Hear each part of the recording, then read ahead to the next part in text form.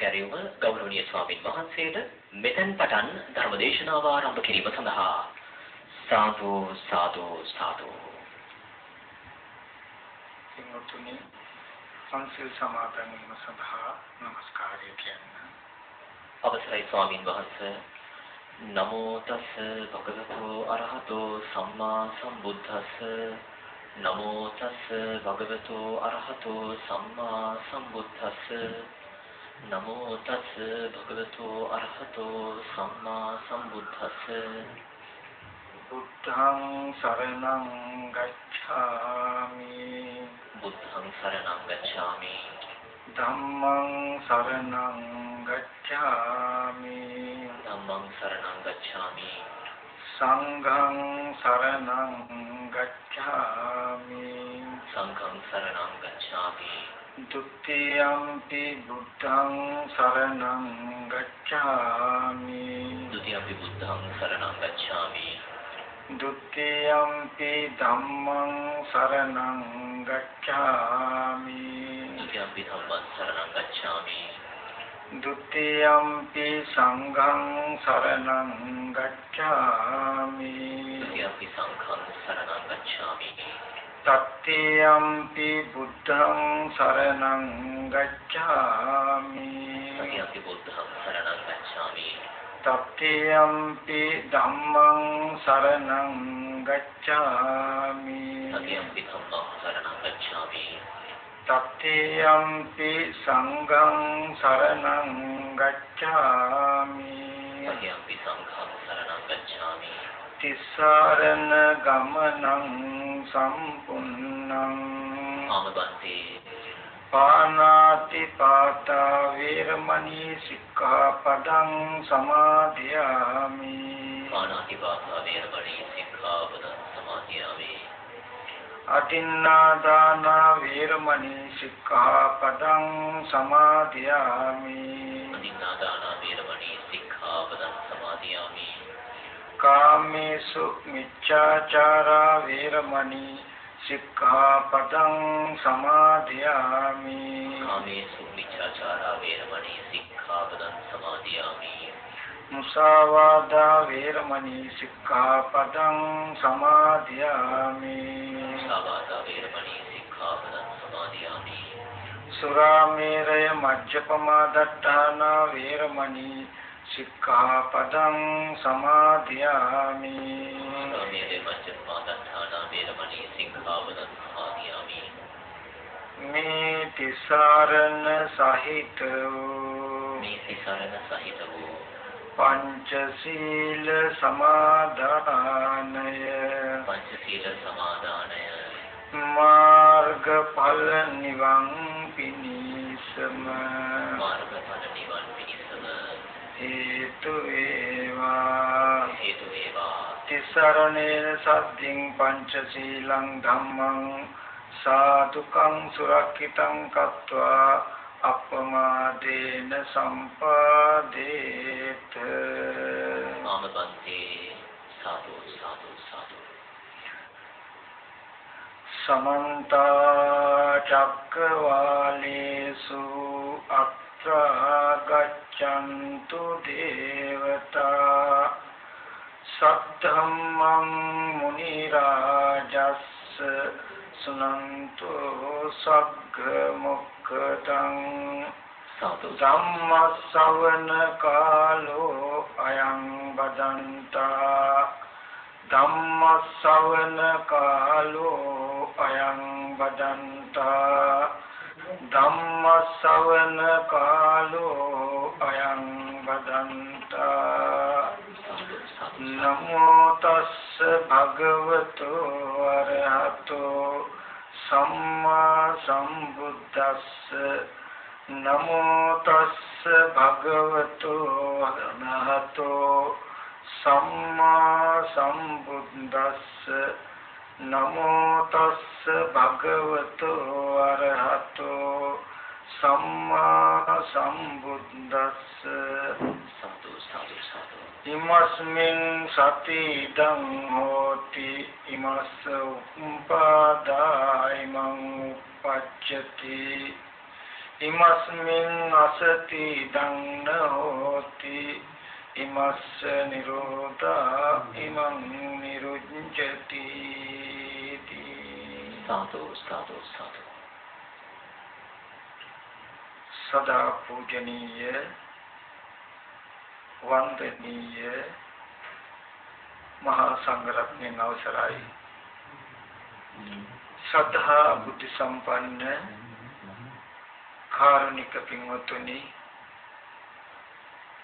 මේ පින්වත් සියලු දෙනා දැන් මේ සූදානම් වෙන්නේ ලෝතර බුදුරජාණන් වහන්සේ අපි කෙරෙහි අනුකම්පාවෙන් දේශනා කළ උතුම් සත්‍යයෙන් විදක් සෝනේ කරන්ට එනිසා හැම දිනාටම මතක් කරනවා තමන්ගේ හිත නොයෙක් නොයෙක් අරමුණු වල දුවන්නට නොදී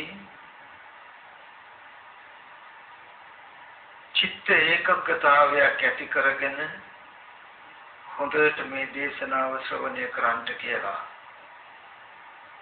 අනන්ත සංසාරෙ දිහා බලනකොට ලෝතර බුදුරජාණන් වහන්සේලා වුණතරම් මේ ලෝක ධාතුවේ පහළ වෙලා ඇති පහළ වෙලා තියෙයි. ඒ කාලවල අපිට ඕන තරම් මනුස්සාත්ම භාවයන් ලබා ගන්නත් ඇති. ඒත් එකම ශාසනයක්වත් ආදරෙන් ඇසුරු නොකළ නිසා ඔබත් මම තාම ඉපදෙමින් මැරෙමින් මැරෙමින් ඉපදෙමින් යන මේ දුක්සහගත සසර ඒ මේ යත දුවන සැරසැර නැත් වෙලා අපිට පුළුවන් වුණොත් මේ ජීවිතේදී සක්සා බුදුබණ අහලා ඒ අහගත් ධර්මයට අනුව ජීවිතේ හැතිරෙන්නට ඒකාන්තයෙන්ම මේ බුද්ධෝත්පාද කාලය තුලම මේ ජීවිතය තුලම අපේ නිවීම අපේ මිදීම අපිට හදාගන්න පුළුවන්. ගත වෙන ජීවිතයක් තුල නිවි සැනසෙන ආත්ම භාවයක් හදාගන්නයි පින්මුතුනි ලෝතර බුදුරජාණන් වහන්සේලා මඟ පෙන්වුවේ. මොහොතක් අතීතයේ සිහිපත් කළොත් මේ වගේ සත්‍යධර්ම දේශනාවන් අහලා ඒ දේශනාවන් ජීවිතයට එකතු කරගත්ත නිසායි පටාකාචාරා වගේ. තමන්ගේ සියලුම නෑදෑ පිරිස අහිමි වෙලා මහා දුක් ගොඩක් වින්ද ඒ මාතාව සුවපත් උනේ. ඒ වගේම තමන්ගේ එකම දරුවා මල සුවින් අඩාගල පුණු කිසා ගෝතමිය සුවපත්තුනේ මෙබඳු ධර්මයක් ශ්‍රවණය කරලායි. ඒ වගේම රච්චුමාලා වගේ දාසියන් ඒ දාසි භාවයෙන් මිදලා නිවි සැනසුනේ. මෙබඳු සද්ධර්ම දේශනාවන් ශ්‍රවණය කළායි. ඒ වගේම අඟුලිමාල ආදී මහ ඡන්ද පරුස ගති ඇති ඇත්තෝ අහිංසක යන නම සැබෑවටම අර්ථවත් වෙන අහිංසක ජීවිතයක් හදාගෙන නිවි සැනසෙන බවට පත් උනේ මෙබඳු දහමක් තුළින්. එදා ඒ ජීවිත මේ ධර්මයේ තුලින් නිවාසන සොයා ගන්නට පුළුවන් වුණා නම් අද දවසේ මේ ජීවිතවල තියෙන දුක අයින් කරගන්නට අයින් කරන්ට බැරි වෙන්නේ නැහැ. මොකද ධර්මය කියලා කියන්නේ එක කාලයකට විතරක් ප්‍රතිඵල තියෙන ධර්මයක් නෙමෙයි. තථාගතයන් වහන්සේ දේශනා කළේ ඉමේච සුබද්ද සම්මා විහෙරියුම් අසඤ්ඤෝ ලෝකේ අරති යස් සුබද්ද මනාකොට පිළිවෙත් පුරනවා නම් යම් කිසි කෙනෙක් මේ ලෝකේ කවදාවත් රහතුන්ගෙන් හිස් වෙන්නේ යම් කාලයක නිවි සැනසෙන ජීවිතවල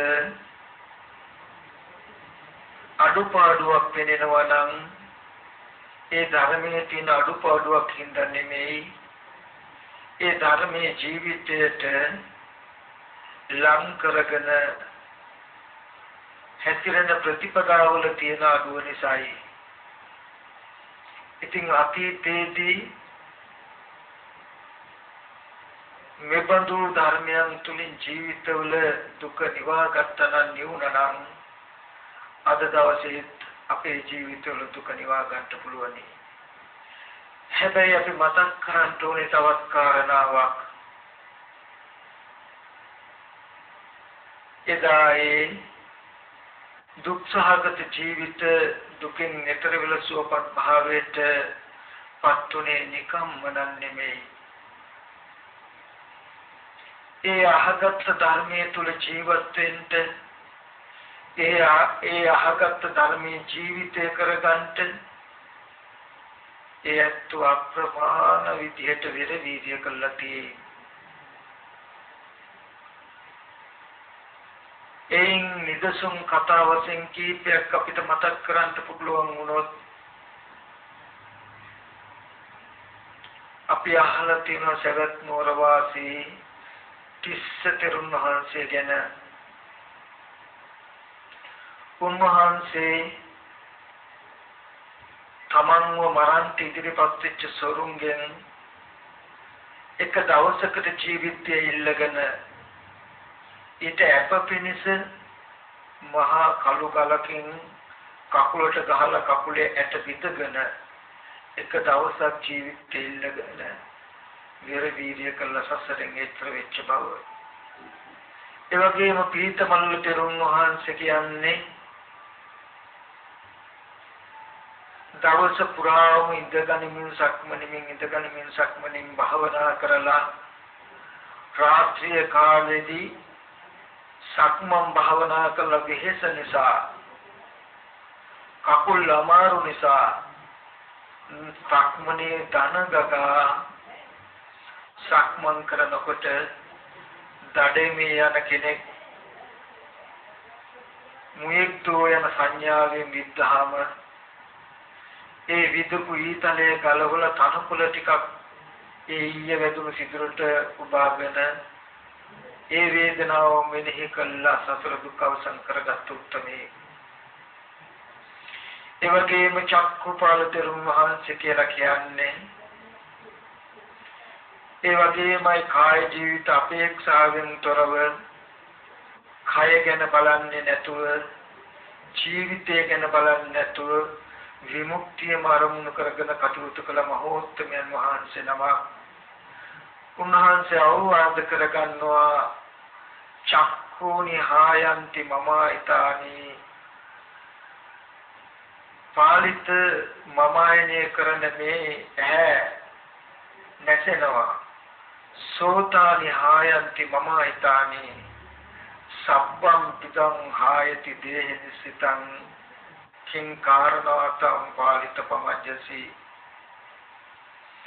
පාලිත මමයනය කරන ඇහැ වගේම කනත් නැසෙනවා. මම කියලා අල්ලගෙන තියෙන මේ ශරීරය සියලු දේම නැසෙනවා. කිං කාරණාතං පාලිත පමජ්ජසි. පාලිත ප්‍රමාද වෙන්න තියෙන කාරණාව මොකක්ද? නුඹගේ ඇහැගෙන බලන්නේ නැතුව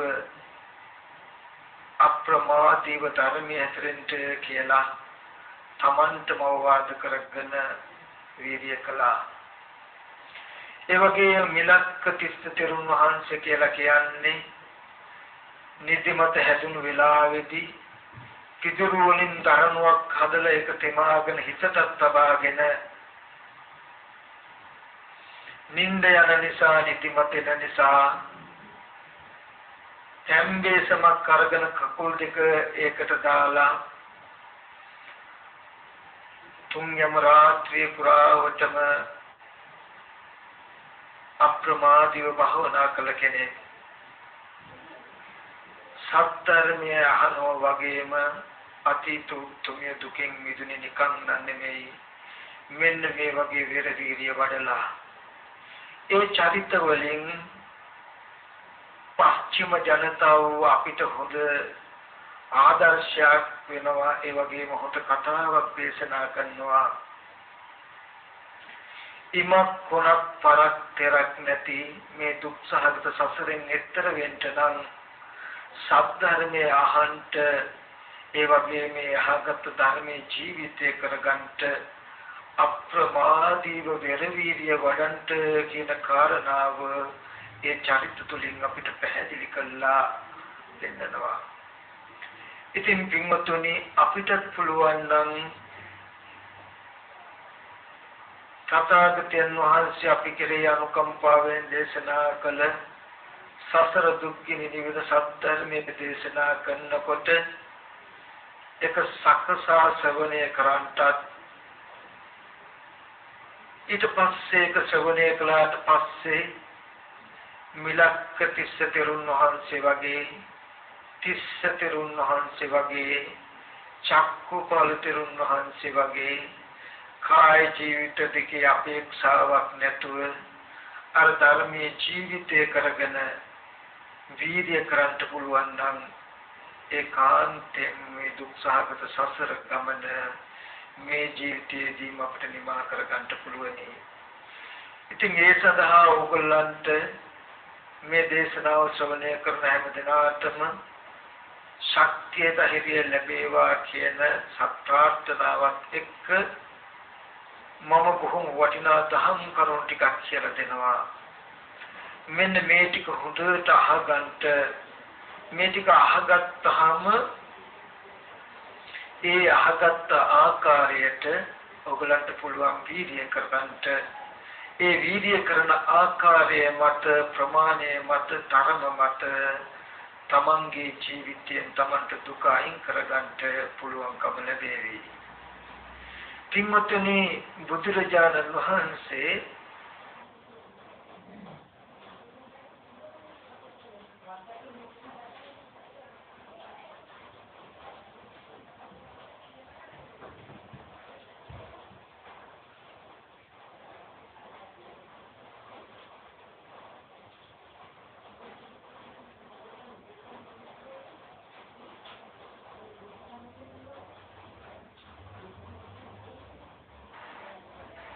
දේශනා කරනවා ඉමස්මින් සති ඉදං හෝති ඉමස්ස උප්පාදායම උපජ්ජති.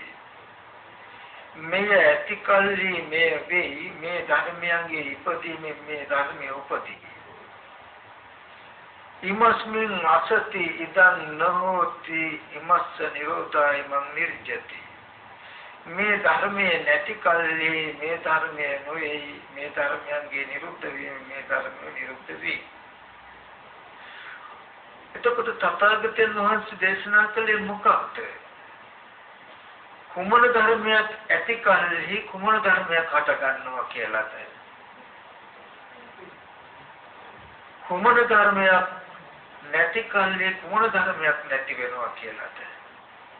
තථාගතයන් වහන්සේ පෙන්වා වදාළේ මේ පටිච්ච සම්පද ධර්මතාවය. අවිද්‍යාව නැමැති ධර්මතාවය ඇති කල්හි සංඛාර නැමැති ධර්මතාවය වේ. අවිද්‍යාව නැමැති ධර්මතාවයේ ඉපදීමෙන් සංඛාරය නැමැති ධර්මතාවය උපදිනවා. සංඛාරය නැමැති ධර්මතාවයේ ඇති තැන විඥානය නැමැති ධර්මතාවය ඇති වෙනවා.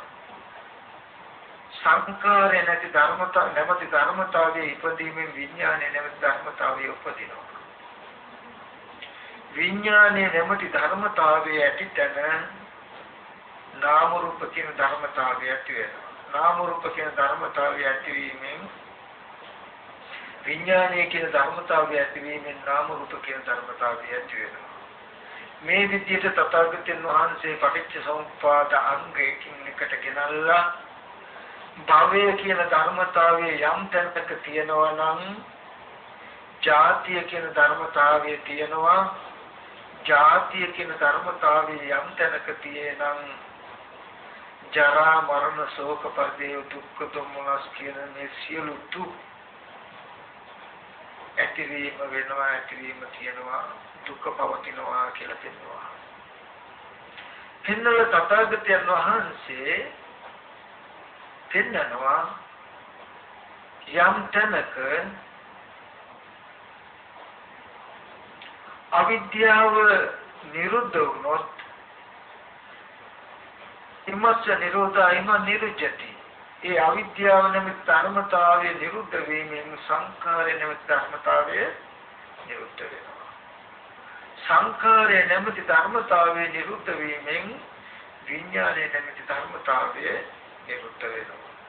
මේ විදිහට පටිච්ච සමුප්පාද ධර්මයන් එකින් එක එකින් එක පෙන්නලා යම් තැනක භවය නැත්තම් ජාතිය නැහැ ජාතිය නැත්තම් ජරා මරණ ශෝක පරිදේ දුක් දුම්නස් නිරුද්ධන්ති සියලු දුක් දුම්නස් නිරුද්ධ වෙනවා කියලා පෙන්නනවා එතකොට මෙන්න මේ ධර්මතා ටිකෙන් බොහෝම වටිනා ධර්මතාවයක් පෙන්නනවා. ඒකට පින්වතුනි බුදුරජාණන් වහන්සේ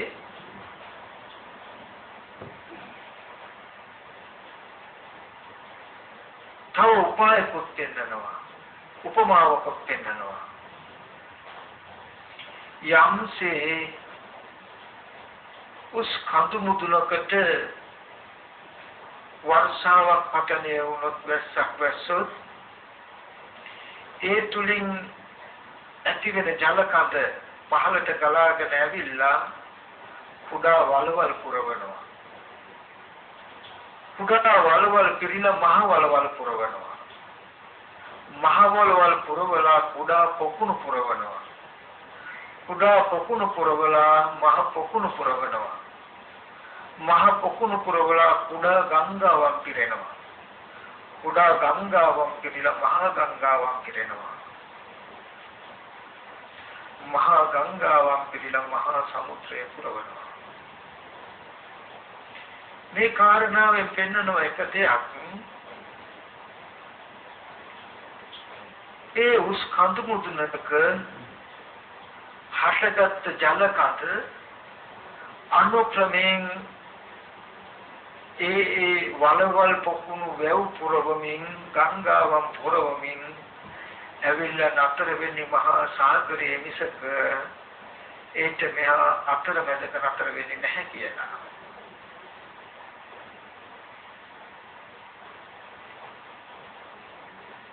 ඒ වගේ තථාගතයන් වහන්සේ පෙන්නනවා ඒ උපමාවෙන්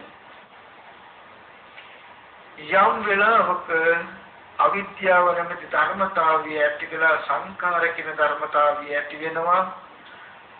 සංඛාර කියන ධර්මතාවය ඇති වෙලා විඥානය කියන ධර්මතාවය විඥානය කියන ධර්මතාවය නිසා නාම රූප කියන ධර්මතාවය නාම රූප කියන ධර්මතාවය නිසා සලආයතන කියන ධර්මතාවය සලආයතන කියන ධර්මතාවය නිසා පස්සේ කියන ධර්මතාවය පස්සේ කියන ධර්මතාවය නිසා වේදනාව යන ධර්මතාවය. වේදනාව නිසා තණ්හාවක් තණ්හාව නිසා උපාදානයත් උපාදානය නිසා භවයත් භවය නිසා ජාතිය ජාති නිසා ජරා මරණ කියන ධර්මතාවය ඇති වෙනවා. උස් කඳු මුදුනක හටගත් ජලය අතරමඟ නොනවති යම්සේ මහා සමුද්‍රයෙන් මහා සාගරයෙන් අවසන් වෙයිද එවගේ යම් දවසක අවිද්‍යාව නැමැති ප්‍රභවයෙන් යම් අරමුණක් පැවැත්මක් පටන් ගත්තොත් ඒක අවසන් වෙන්නේ ජීවිතයකට දුක කියන ධර්මතාවය උරුම කළා දුක කියන ධර්මතාවය හදලා කියන කාරණාව කියනවා. ඒට මෙහා කොතනකවත් නතර වෙන්නේ නැතුව දුක කියන ධර්මතාවය හදලම තමයි මේ අවිද්‍යාව නැමැති ප්‍රභවයෙන් පටන් ගත්ත ධර්මතාවය නතර වෙන්නේ. ඒකෙන් මම මතක් කළේ බුදුරජාණන් වහන්සේ අපේ ජීවිතය ගැන පෙන්නනවා ඇස් ඉදිරි පිටට හම්බ වෙන එක අරමුණක ඇත්ත ඇති හැටි නොදන්නා අවිද්‍යාවෙන් ඒ අනුව කර්ම රැස් කරගෙන ඒ ඇස් ඉදිරිපිටට එන ආරම්භණයේ අනුව මෙනෙහි කළා. ඊට අනුරූප වූ චක්කු විඥානයත් කන ඉස්සරහට එන සබ්දේ ඇත්ත නොදන්නා අවිද්‍යාවෙන් ඊට අනුරූපව මෙනෙහි කළා. සෝත විඥානය ආදී විඥානයන් හදාගත්තොත් රූප ශබ්ද ආදී අරමුණු මෙනෙහි කළා හිත කයට නැඹුරු වෙන හැටි. ඒ හිත කයට දැස ගන්න නිසා නැවත ඇහැ කන දිවනාසය ශරීරය කියන ආයතන හැදෙන හැටි. ඒ ආයතන ටිකට නැවත රූප ශබ්ද ආදී අරමුණු ස්පර්ශ වීම නිසා වේදනාව ඇති වෙන හැටි. වේදනාව නිසා තණ්හා උපාදාන කියන ධර්මතාවය ඇති වෙන හැටි උපාදාන නිසා භවය. භවය කියලා කියන්නේ දැක්කපු අහපු මේ විදිහට අවිද්‍යාවෙන් පටන් අරගත්තාම දැක්කපු අහපු හැම දෙයක්ම තියෙනවා ඉන්නවා කියලා භවය නැත්තම් ලෝකයේ හැදෙන හැටි. ඊට පස්සේ ඒ ලෝකය නිසා ජරා මරණ දුක එන හැටි කියලා අපේ මේ ජීවිතයේ තුලින්ම පටිච්ච සමුප්පාද දර්ශනයක් වෙනවා. එහි යමක් දැක්කට පස්සේ ඒ දැකපු දේ මුලා වෙලා ඊට ඇති කරගන්න කර්ම නිමිති මුල් කරගෙන චක්කුසෝත ගාන ආදී පංච විඥානයන් උපද්දලා නැවත මේ ස්පර්ශ ආයතන 6 ඇති කරගෙන ස්පර්ශ ආයතන හය උපද්දලා එකට තණ්හාව ඇති කරගෙන මේ ලෝකයේ ඇති බවට හදාගන්න සිද්ධිය. දැන් ඔය ටික අපිට තේරෙන්නේ. ආයතනයක් ආයතනයක් ගානේ පවතින මේ පැවැත්ම ඊටමත් වේගවත් ඒ වගේම ඊටමත් සියුම් හැබැයි අපේ සිහිය නුවණ ගොඩාක් දුබලයි. අපේ සිහිය නුවණ ගොඩාක් දුබලයි. නමුත් මේ ඈකන දිවනාසය ශරීරය කියන ආයතන හය ආරම්භය අරමුණක් රැවටිලා නැවතේ රූප ශබ්ද අරමුණ හොයන් හොයාගෙන ගිහිල්ලා ඒකට තණ්හාව ඇති කරගෙන එහෙම දේවල් කියනවා කියලා මතකයක් තියාගෙන මතකය සිහි කර කර දුක් විඳිනවා කියන පැවැත්මක් වෙනවා. ඒ පැවැත්ම ගෝචර නැහැ. එතකොට බුදුරජාණන් වහන්සේ කතිම උපායක් වෙන්නනවා අපිට. අපි උපමාවක් කළොත් ඉන්ටි කටුවකට අපි නූලක් දාන්නට රෙදි කැලක් මහගන්ට ඉන්ටි කටුවකට අපි නූලක් දාන්නට හදනවා. නූල දාන ඉන්ටි කටු සිදුර ඊටමත් කුඩයි සිවුම් ඒ වගේමයි අපේ ඇහැ දුබලයි. ඒ හින්දා අපිට පේන්නේ ඒ වෙලාවේදී අපි උපායක් කරගන්නවා පුඩාවට තියෙන වස්තුවක් ටිකක් ලොකු කරලා පෙන්නන කාචයක් උදව් කරගන්නවා. කාචේ උදව් කරගෙන කාචේ උපකාරයෙන් අර ඉතිකටු කිසුරට අපි නූල ප්‍රවේශනය කරගන්නවා දාගන්නවා. බලන්න අපි කරගත්ත උපාය නමුත් අර කුඩාවට තිබුණු සිතුර එහෙමමයි. ඒක චුට්ටක්වත් වෙනස් වුණේ නෑ අපි බැලුවා කියලා ඒක ලොකු නෑ. හැබැයි අපි අපේ පහසුව සඳහා අපි යම් උපායක් කරගත්තා. ඒ වගේ අපේ ජීවිතේ ඇහැ කන දිවනාසය ශරීරය කියන ආයතනයක් ආයතනයක් ගානේ පෙනෙන ඇහෙන දෙයට රැවටිලා ඒ ගැන මතකයක් ඇති කරගෙන ඊට අනුව පෙනෙන ඇහෙන අරමුණු හොයන්න ගිහිල්ලා ඒක තණ්හාව ඇති කරලා ඒ ගැන මතකයක් හදාගෙන ඇති බව හදාගෙන ඇති බවට තියෙන දේවල් සිහි කර කර දුක් විඳිනවා කියන පැවැත්මක් තී ඒක සිවුම් වැඩි. අපේ මනස දුබලයි. දැන් අපිට පේන්නේ අපි උපායක් කරගන්නවා මොකටද මේක ටික ලොකු කළා දික් කළා බලනවා මේ චක්‍රේ මේ පැවැත්ම ටිකක් ලොකු කළා දික් කළා බලනවා කොහොමද අපි කාල තුනකට තියලා බලනවා අපේ ජීවිතේ පේන්නේ නැති හින්දා අපි භව වශයෙන්ම තියලා බලනවා ටිකක් ලොකු කරලා. එතකොට අපිට මේක පේනවා.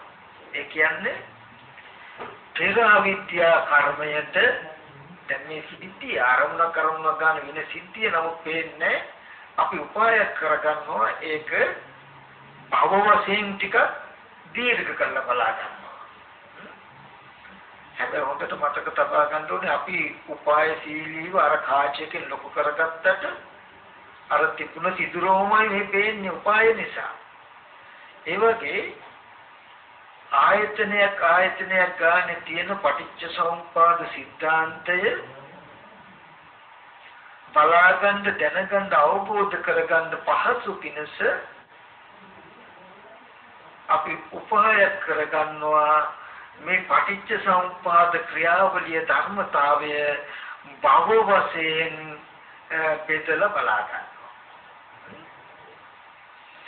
ඒ කියන්නේ අපි බලනවා පෙර භවයේ අවිද්‍යා සංඛාර අවිද්‍යාවෙන් කර්ම රැස් කරපු නිසා මේ ජීවිතයේ විඤ්ඤාණ නාම රූප සලආයතන පස්ස වේදනා කියලා මේ විපාක ස්කන්ධ ටිකක් හැදෙනවා. ඒ විපාක ස්කන්ධ ටිකට තණ්හා උපාදාන කියන කෙලෙස් ටිකක් එකතු වුණාම භවය හැදෙනවා භවය කියලා කියන්නේ දැක්කපු අහපු හැම දෙයක්ම ඇති බවට අපි තුල ගොඩ නැගින ගතිය. තාපයෙන් ගත්තොත් ඕක තමයි කාම භවය, රූප භවය, අරූප භවය කියලා තුන් භවය කියලා කියන්නේ. මේක තමයි ලෝකي කියලා කියන්නේ. මම තව උපමාවලින් පැහැදිලි කරලා දෙන්නම්.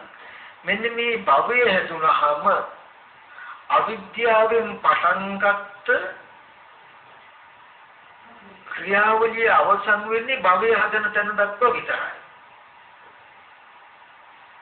ඊට පස්සේ භවය නිසා ජාති ජරා මරණ ඇති වෙනවා. ඒ කියන්නේ පෙර අවිද්‍යා කර්මය අවිද්‍යාව කර්මය සකස් කළ කර්මය ප්‍රතිසන්දි විඥානේ නාම රූප ආයතන ටික හදලා ස්පර්ශ වේදනා කියන විපාක ටික හැදුවා ඒ විපාක ටිකට තණ්හා උපාදාන කියන කෙලෙස් ටික යෙදුනට පස්සේ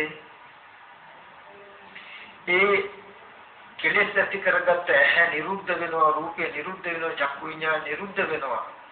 දකින්නහන දේවල් නිරුද්ධ වුණාට දැකපු අහපු දේවල් ඇති බවට අපේ මනස තුල භවයේ සකස් වෙනවා. ඔකට කියනවා කර්ම භවය කියලා. අපි උපමාවක් කළොත් කවදාවත් අපි දැක්කේ නැති දන්නේ නැති දැක්කේ නැති දෙයක් අපිට සිහි කරන්න බෑ. සිහි කළා ඒ පිළිබඳව සැප දුක් විඳින්නත් බෑ. ඒ ආරම්භය කුසල අකුසල කර්ම රැස් කරගන්නත් බැහැ. එහෙම දෙයක් අපි ගාව නැහැ. නමුත් කවදාවත් දැක්කේ නැති තැනකට ගිහිල්ලා අපි මේ වටපිටාව බලනවා. වටපිටාව කියන શબ્දයක් අහනවා. වටපිටාව බැලුවා කියන શબ્දයක් අහපු එක විතරයි කරන්නේ. අපි ආපහු ආවට පස්සේ මෙන්න මේ වගේ ලක්ෂණ බලන්න තැනකුත් තියෙනවා. එතෙන්ට ගියොත් මේ වගේ ශබ්ද අහන්න පුළුවන් තැනකුත් තියෙනවා කියලා දැනුමක් අපි ගාව කොට නැගිලා තියෙනවා. බලන්න පැහෙන් බලපු එක එකතු වෙලා තියෙන හැටි. ඇහුණු දේ එකතු වෙලා තියෙන හැටි. අන් ඒ වගේ කුඩා කාලේ ඉඳන් ඉස්කෝලේ ගිය හැටි ඉස්කෝලේ තිබුණ හැටි ඒ කාලේ හිටපු යාළුවෝ මිත්‍රයෝ රැකරක්ෂා කළ හැටි. බලන්න ඕගලන්ට ඕ මතක් කරගන්න පුළුවන්කම සමහර විටක අපි වර්තමානයේ ගිහිල්ලා බලනකොට ඒ තිබුණු තැන් වල තියෙන පොළවේ පිහිටීම පවා නැහැ. නමුත් මෙහෙම මෙහෙම දේවල් තිබුණා කියන කම හැදිලා තියෙන්නේ නැති. අන්න ඒක තමයි භවය කියලා කියන්නේ. ඕක තමයි ලෝකය කියලා කියන්නේ. ඔකට කියන තව පැත්තක මොකද්ද? පංච උපාදාන ස්කන්ධ ලෝකය කියලා. ඔන්න ඔය භවපච්චය ජාති කියන්නේ මනස තුල අන්න ඒ විදිහට තියෙනවා තියෙනවා කියලා ගොඩ නැගිච්ච දේවල් තියෙනවා. ආන් මේ දේවල් හැම වෙලාවෙම සිහි වෙනවා අපිට. සිහි කර කර අපි ඒව තුල සැප දුක් සහගත විදිහට හිත හසුරවනවා. ලෝභ දේශ මෝහ විදිහට කෙලස් පවත්නවා ඒ කුඩා කාලේ යාළුවෝ සිහි කරගන්න පුළුවන් සිහි කරගෙන එදා කියපු දේවල් අද සිහි කර කර සතුට වෙන්න පුළුවන් දුක් වෙන්න පුළුවන් ඒවට තරහ ගන්න පුළුවන් කැමති වෙන්න පුළුවන් බලන්නකො එතකොට ඒ අයත්ින් දැන් වර්තමානයේ ඒ සැපහා දුක නැත්තම් ලෝභ දේශ මොහ කියන gati ඇතිුනේ දැන් මේ පුද්ගලයෙක්ගේ අවදි වීම නිසායි. ඒ පුද්ගල භාවයේ ජාති පුද්ගල භාවයේ අවදි ඇතිුනේ මොකක් නිසාද? භවය නිසා. මෙහෙම මාය මෙහෙම දේවල් තිබුණා කියන gati නිසායි. එතකොට මෙන්න මේ පටිච්ච සමුප්පාද සිද්ධියෙන් කියන්නේම අත ඔගොල්ලෝ දැනට ගෙදර ගිහිල්ලා මෙහෙම ඉන්නකොට බලන්න දරුවා ගැන ඥාතීන් ගැන අම්මා ගැන සහෝදරයෝ ගැන ගෙවල් දොරවල් ගැන සිහි කර කර දුක් වෙනවා සතුට වෙනවා. සිහි කර කර දුක් වෙනවා සතුට වෙනවා. ඒ වගේම සිහි කර ගන්න ආරමුණු සැපදායක වුණාම ලෝකය ලෝභය ඇති වෙනවා.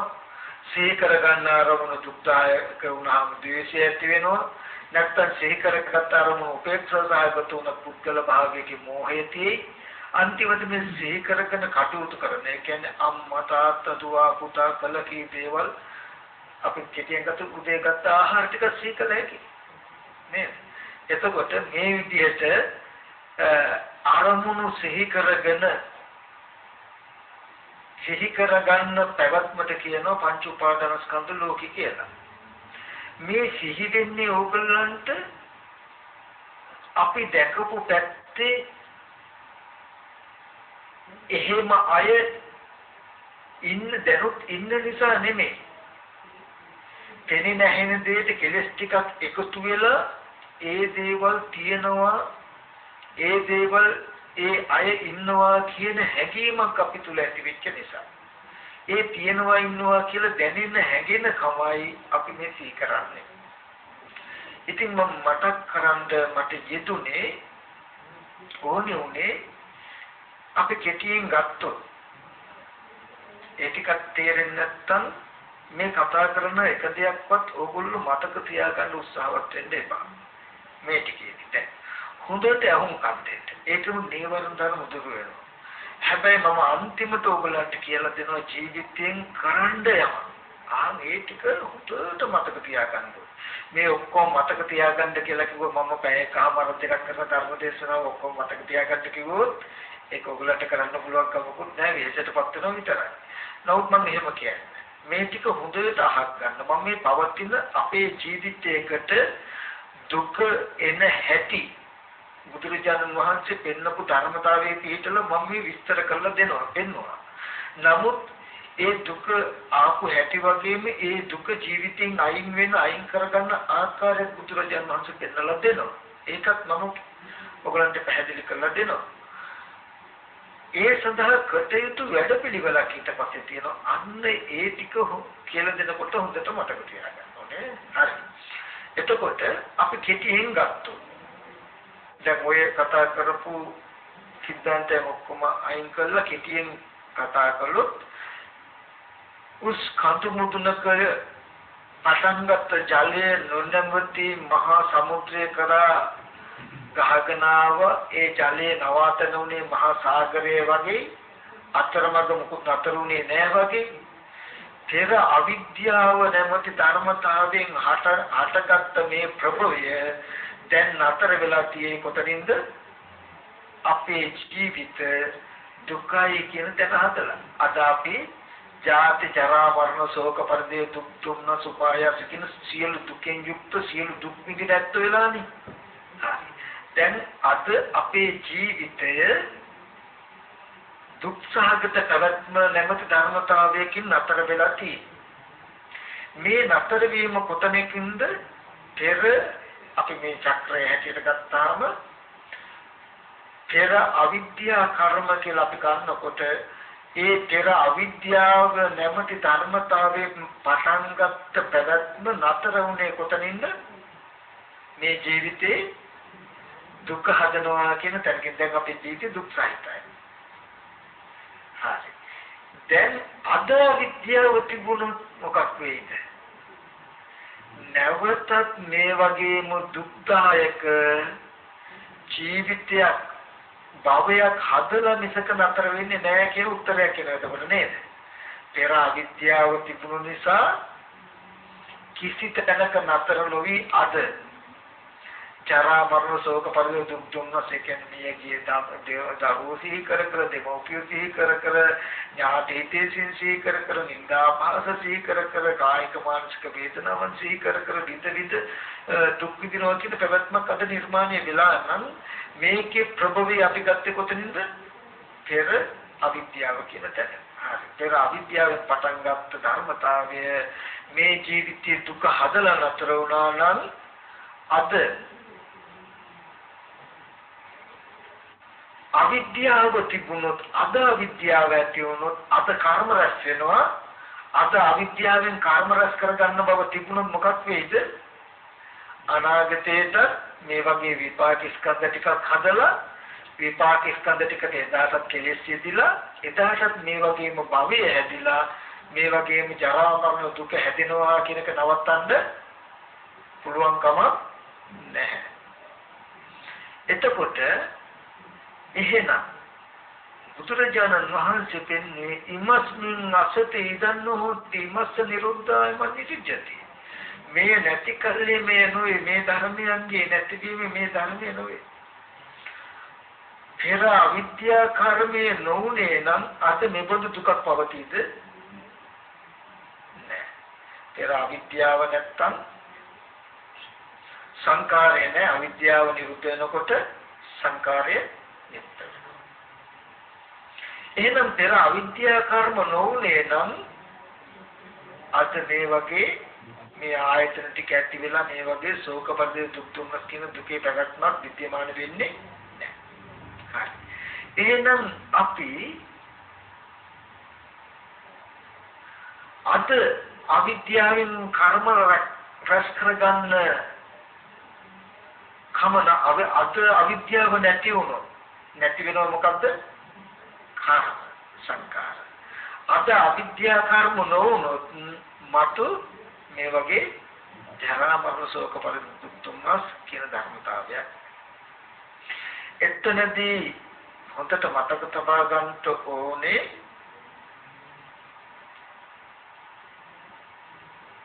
උඩා ඉදිකටු සිදුර බලාගන්න උපාය වෙන උපායක් මිසක මේ කාචයෙන් පෙන්වන්නේ කාචයෙන් පෙන්වන සිද්ධිය නෙමෙයි සදාවටම විද්‍යමාන සිද්ධිය. ඒකෙන් මම පෙන්න්නේ මේ භව වශයෙන් මම පෙන්වන සිද්ධිය ජීවිතයේ සැබෑම සිද්ධිය බලාගන්න උපායක් මිසක ඒක මේ භව වශයෙන් පෙන්වන සිද්ධිය නෙමෙයි සැබෑම සිද්ධිය කියන එක. ඒකෙන් මතක් කළේ අද අවිද්‍යා කර්ම නැත්තම් නැති වුණොත් මතු ජරා මරණ නැහැ කියලා කියනකොට අපේ අවබෝධයේ පහසුවටයි මතු කියන කැලල මරණයෙන් පස්සට දැම්මේ. නමුත් ඊගාවරමුණේ ඉඳලා වෙන්න පුළුවන්. මේ මතු කියන සිද්ධිය ඊගාවරමුණේ ඉඳලා අනාගතයට කමක් නෑ. අපි උත්තරයක් අපිට ආවා. මේ ටික ගවේෂණය කරනකොට අතීතයේදී අවිද්‍යා කර්ම තිබුණු නිසායි අද අපේ ජීවිතයේ දුක්සහගත බවක පවතින්නේ. අද අවිද්‍යාව නැමැති ධර්මතාවය දුරු නොකොළොත් මතුවට අපේ ජීවිතවල දුක්සහගත ස්වභාවය නැති වෙන්නේ නැහැ කියන උත්තරයක් ආවා.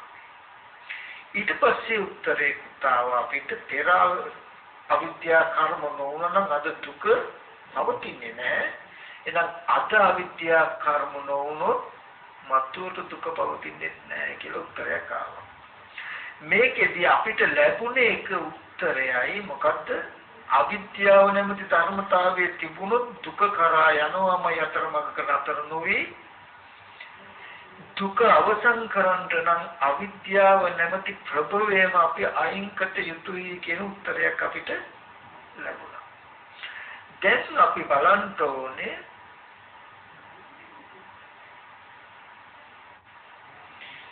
ඒ අවිද්‍යාව දුරු කළා විද්‍යාව ඇති කරගන්නේ කොහොමද විද්‍යාව කියන්නේ මොකක්ද කියලා. අවිද්‍යාව කියන එක මම ඉස්සෙල්ල කෙටියෙන් විස්තර කළා. ඇස් ඉදිරි පිටට රූපයක් හම්බ වෙනකොට ඒක ඇත්ත නොදන්නා කම නිසා ලෝභය, ද්වේෂ, මෝහ කියන කුසල අකුසල කුසල අකුසල කර්ම ඇති වෙන විදිහට පෙනෙන දේ අතරදී අපි හිතන කම නිසා කන ඉදිරි පිට ශබ්දයක් ඇහෙනකොට ඒ ශබ්දයේ ඇත්ත නොදන්නා කම නිසා කුසල සහගත අකුසල සහගත කර්ම රැස් කරගන්න කම තමයි මේ අවිද්‍යාව පත්‍ය සංඛාරා කියලා කියන්නේ කියන කාරණා. දැන් අපි බලන්න ඕනේ එහෙනම් විද්‍යාව කියන්නේ මොකක්ද කියලා. අවිද්‍යාව කියන ධර්මතාවය අමුතුවෙන් අර්ථ දක්වන්න ඕනේ නෑ අපේ ජීවිතයේ තව පැත්තෙන් ගත්තොත් අවිද්‍යාව කියන්නේ මොකද්ද කියලා මේ අපේ ජීවිතය කියලා පෙන්වන්න විතරයි තියෙන්නේ තව පැත්තකින්. මොකද ඒකට සාක්ෂියක් තියෙයි. අපේ ජීවිත දුක්සහගත නම් දුක්සහගත පැවැත්ම තියෙන්නේ අවිද්‍යාව නැමැති ධර්මතාවයේ තියෙන නිසාමයි නේද? අවිද්‍යාව කොතනක හරි තියෙනවා නම් අවසන් වෙලා තියෙන දුක හදලා දුක පවත්වලා නම් අපේ ජීවිතත් අද දුක්ඛාගත පැවැත්ම තුල නම් තියෙන්නේ අපේ පැවැත්ම ජීවිතයේ පැවැත්ම වෙන්නේ අවිද්‍යාව මතයි අවිද්‍යාව තුලයි කියන එක එකට නිදර්ශනක් ධර්මතාවය. දැන් අපිට අමුතියම හොයාගන්න නම් හොයාගන්න තියෙන එක දෙයයි. මොකද්ද? විද්‍යාව කියන්නේ මොකක්ද? විද්‍යාව හොයාගන්නකොටම අවිද්‍යාව දුරු වෙනවා. විද්‍යාව උපන්තු අවිචා නිරෝධා. හරි අපි දැන් බලමු. විද්‍යාව කියන්නේ මොකක්ද කියලා. මොන දර්ශනය මොන විදිහේ විද්‍යාවක් පෙර නැති කමින්ද අද මේ වගේ දුක ඇති උනේ මොන විදිහේ විද්‍යාවක් අපේ ජීවිතය තුළ හදාගත්තොත්ද අනාගතයට නිබඳු දුක නොවෙන්නේ? කියන ටිකයි දැන් අපිට අවශ්‍ය වෙන්නේ. ප්‍රතිපලයේ දුක ඇති වෙන අවිද්‍යාව දුක ඇති වෙන සිද්ධිය තමයි විස්තර කරන්න දෙයක් නැහැ. අවිද්‍යාව තියනෝ ජී තියෙන තැනක ජීවිතය දුක්සහගතයි කියන එකට අපිම ඉන්නව සාක්ෂියට. දැන් අපිට ඕනේ ඒකට ප්‍රතිපක්ෂ ටික හොදාගන්න. මෙන්න මේ ටික හොඳට මතක තියාගන්න. මෙතන මෙතන ඉඳලා පෙන්වන ටික අපිට මාර්ගදර්ශනය සඳහා නිවන් ප්‍රතිපදාව සඳහා අතිශයම වැදගත් වෙනවා. අවිද්‍යාව කියන එක දුරු වෙලා විද්‍යාව උපදවා ගන්නවා කියන ධර්මතාවයේ තියෙන්නේ පොඩි කාරණාවක් මත. මහා විශාල ගොඩාක් දේවල් නෙමෙයි චූටිම චූටි දෙයක් තියෙන්නේ මේ පොඩි දේ තේරුනොත් ඒ ටික බලාගෙන තමයි භ්‍රමචර්යාව තියෙන්නේ. හරි.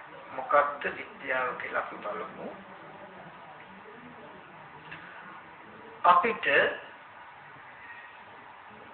ඇසිඩ්‍රි ඇසිඩ්‍රියේ රූපයක් එනවා. ඒ කියන්නේ රූපයක් පේනවා. අපිට මේ රූපයක් පෙනෙනවා කියන තැන හොඳට සිහිය තබා ගන්න හොඳට සිහිවත් කරගන්න යම් වස්තුවක් පෙනෙනවා කියන තැන ගත්තාම පෙනෙනවා කියන සිද්ධිය විපාක ධර්මතාවය මේ පෙනෙනවා කියන සිද්ධිය තුල එතකොටත් හොත්තට ඕගොල්ලෝ දක්ෂ වෙන්න ඕනේ පෙනෙනවා කියන සිද්ධියේදී අපි කියමු මාස 5 6ක පුංචි දරුවෙක් අඬන එක නතර කරන්න දෙමව්පියෝ සත්‍යයක් එක්ක අර ටිකින් ටිකින් ගාලා සත්‍ය ඇහෙන ලස්සන පාට පාට දේවල් උඩින් එල්ලනවනේ. නමුත් සත්‍ය ඇහෙනවා වර්ණ ස්වභාවයන් පෙනෙනවා. නමුත් ඒ වර්ණයන් නම් කරන්නවත් ඒ දරුවෝ දන්නේ මේ නිල් කහ රතු කොළ කියලා ප්‍රඥාප්ති මුකුත් නැහැ. නමුත් පෙනෙනවනේ. මේ අහවල් සද්දේ කියලා සද්දේ නම් කරන්න දන්නේ නැහැ. නමුත් ඇහෙනවා. අන්න ඒ වගේ මට්ටම ඒ පෙනෙන මට්ටම ඒ ඇහෙන මට්ටමයි මම මේ කියන්නේ පෙනෙනවා විපාකයි කියලා. පෙනෙන දේ. මේ පෙනෙන දේ තුල පෙනෙන පැත්තේ ලෝභ, ද්වේෂ, මෝහ කියන අකුසල ධර්ම කිසිවක් නැහැ. අලෝභ, අද්වේෂ, අමෝහ කියන කුසල ධර්ම කිසිවක් නැහැ. ඒ වගේම ක්ලේශ අනුසයක්වත් නැහැ. විපාක මාත්‍රයක් විතරයි. ඒක එක අන්තයක්. එක පැත්තක්.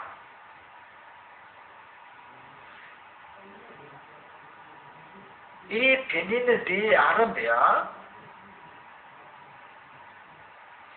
අපිට කිසිවක් කළ හැකි බවක් නැහැ. යථාර්ථය දිත්තේ දිත්තමත්තම් දැකීම දැකීම මාත්‍රයක්ම පමණයි.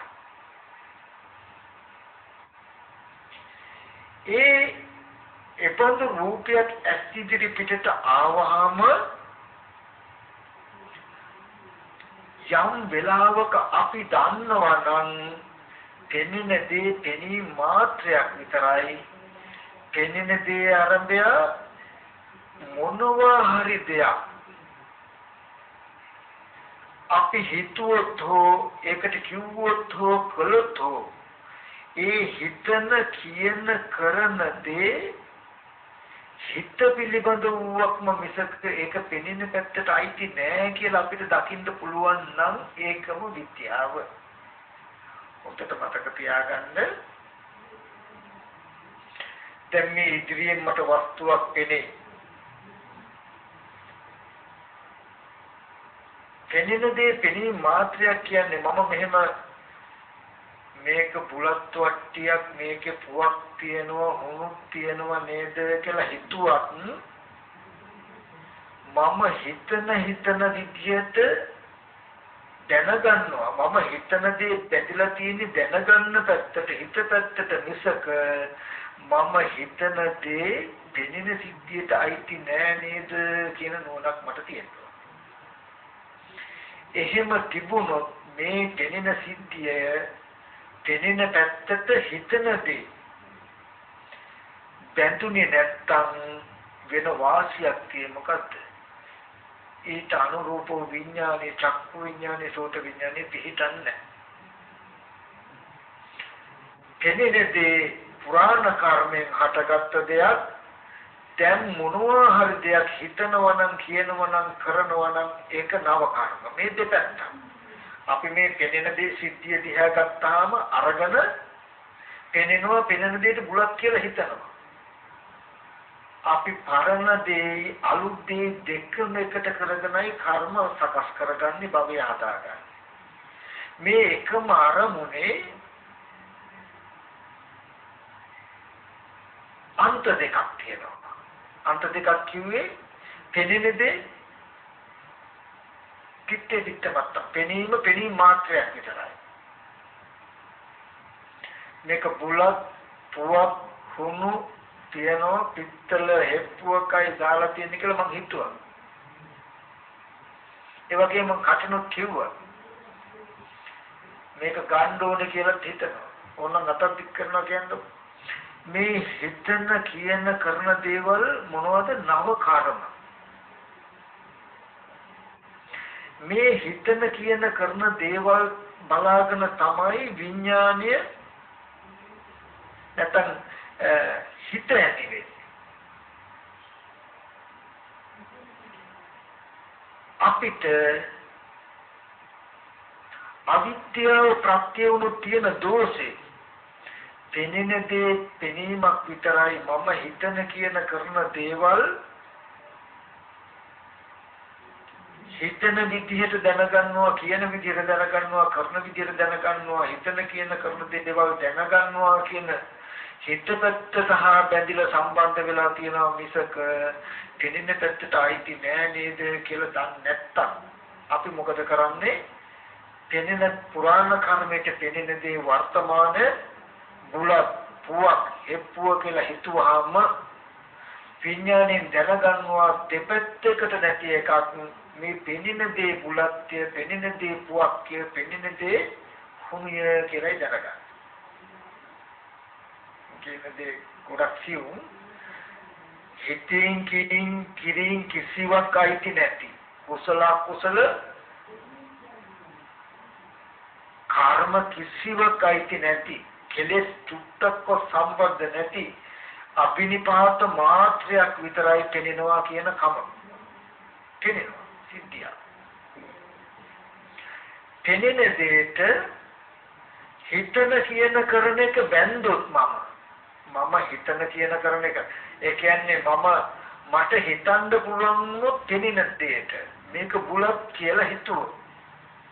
මේ රූපයත් මම හිතපු එක දෙකම උදව් කරගෙන මේ පෙනෙන රූපේ බුලක් කියලා මම දැනගන්නවා. මේක පිත්තලයි කියලා හිතුවොත් දැන් පිත්තල කියලා හිතුවේ කොහෙන්ද? අපි හිතේ. හිතන එක චේතනාව, නව කර්මයක්. ඒක පෙනෙන පැත්තට අයිති සිද්ධියක් නෙමෙයි. පෙනෙනවා කියන දර්ශනේ නිර්මාණ වුණේ පුරාණ කර්මයකට විපාකයක් ඇටියට. දැන් අපි හිතනවා කියන සිද්ධිය වර්තමාන චේතනාවෙන් හටගන්න එක හිතන විදිහට දැනගන්න එක. අපි බුලත් පුවක් කියලා හිතනකොට හිතන එක පෙනෙන පැත්තට ගැට ගහපු ගමම්ම චක්කු විඥානය උපදිනවා. අවිද්‍යාව තිබුණොත් තංගල සංකාර සංකල්පච්ච විඥානය. චක්‍රය හට ගන්නවමයි. සද්දයක් ඇති වෙනවා. සද්දය ඇති වෙනකොට බල්ලෙක් කෑ ගහනවා කියලා හිතනවා. හිතන එක වෙනම එකක්. දැන් බල්ලෙක් කෑ ගහනවා කියලා හිතනවා. හිතන සිද්ධිය වෙනම එකක්. සද්දය වෙනම එකක්. නමුත් අපි හිතන එක සද්දයට හිතුවොත් හිතන්න පුළුවන්. හිතන එක හිතින්ම හිතුවාම ඒකම හිතින් දැනගන්නවා කියන නුවණ නැතුව හිතන එක ශබ්දයට අයිති වුණොත් අර ශබ්දේ බල්ලෙක්ගේ ශබ්දයක් වේ. අපිට බල්ලෙක්ගේ ශබ්දයක් වුණොත් ඒක බොරු කියලා කියන්නේ වෙන ජාතියක කෙනෙක් ওই ශබ්දය අහුවොත් එයාට බල්ලෙක්ගේ ශබ්දයක් වෙන්න වෙන ශබ්දයක් වෙන්න. මට ඒක කියන්න වෙන්නේ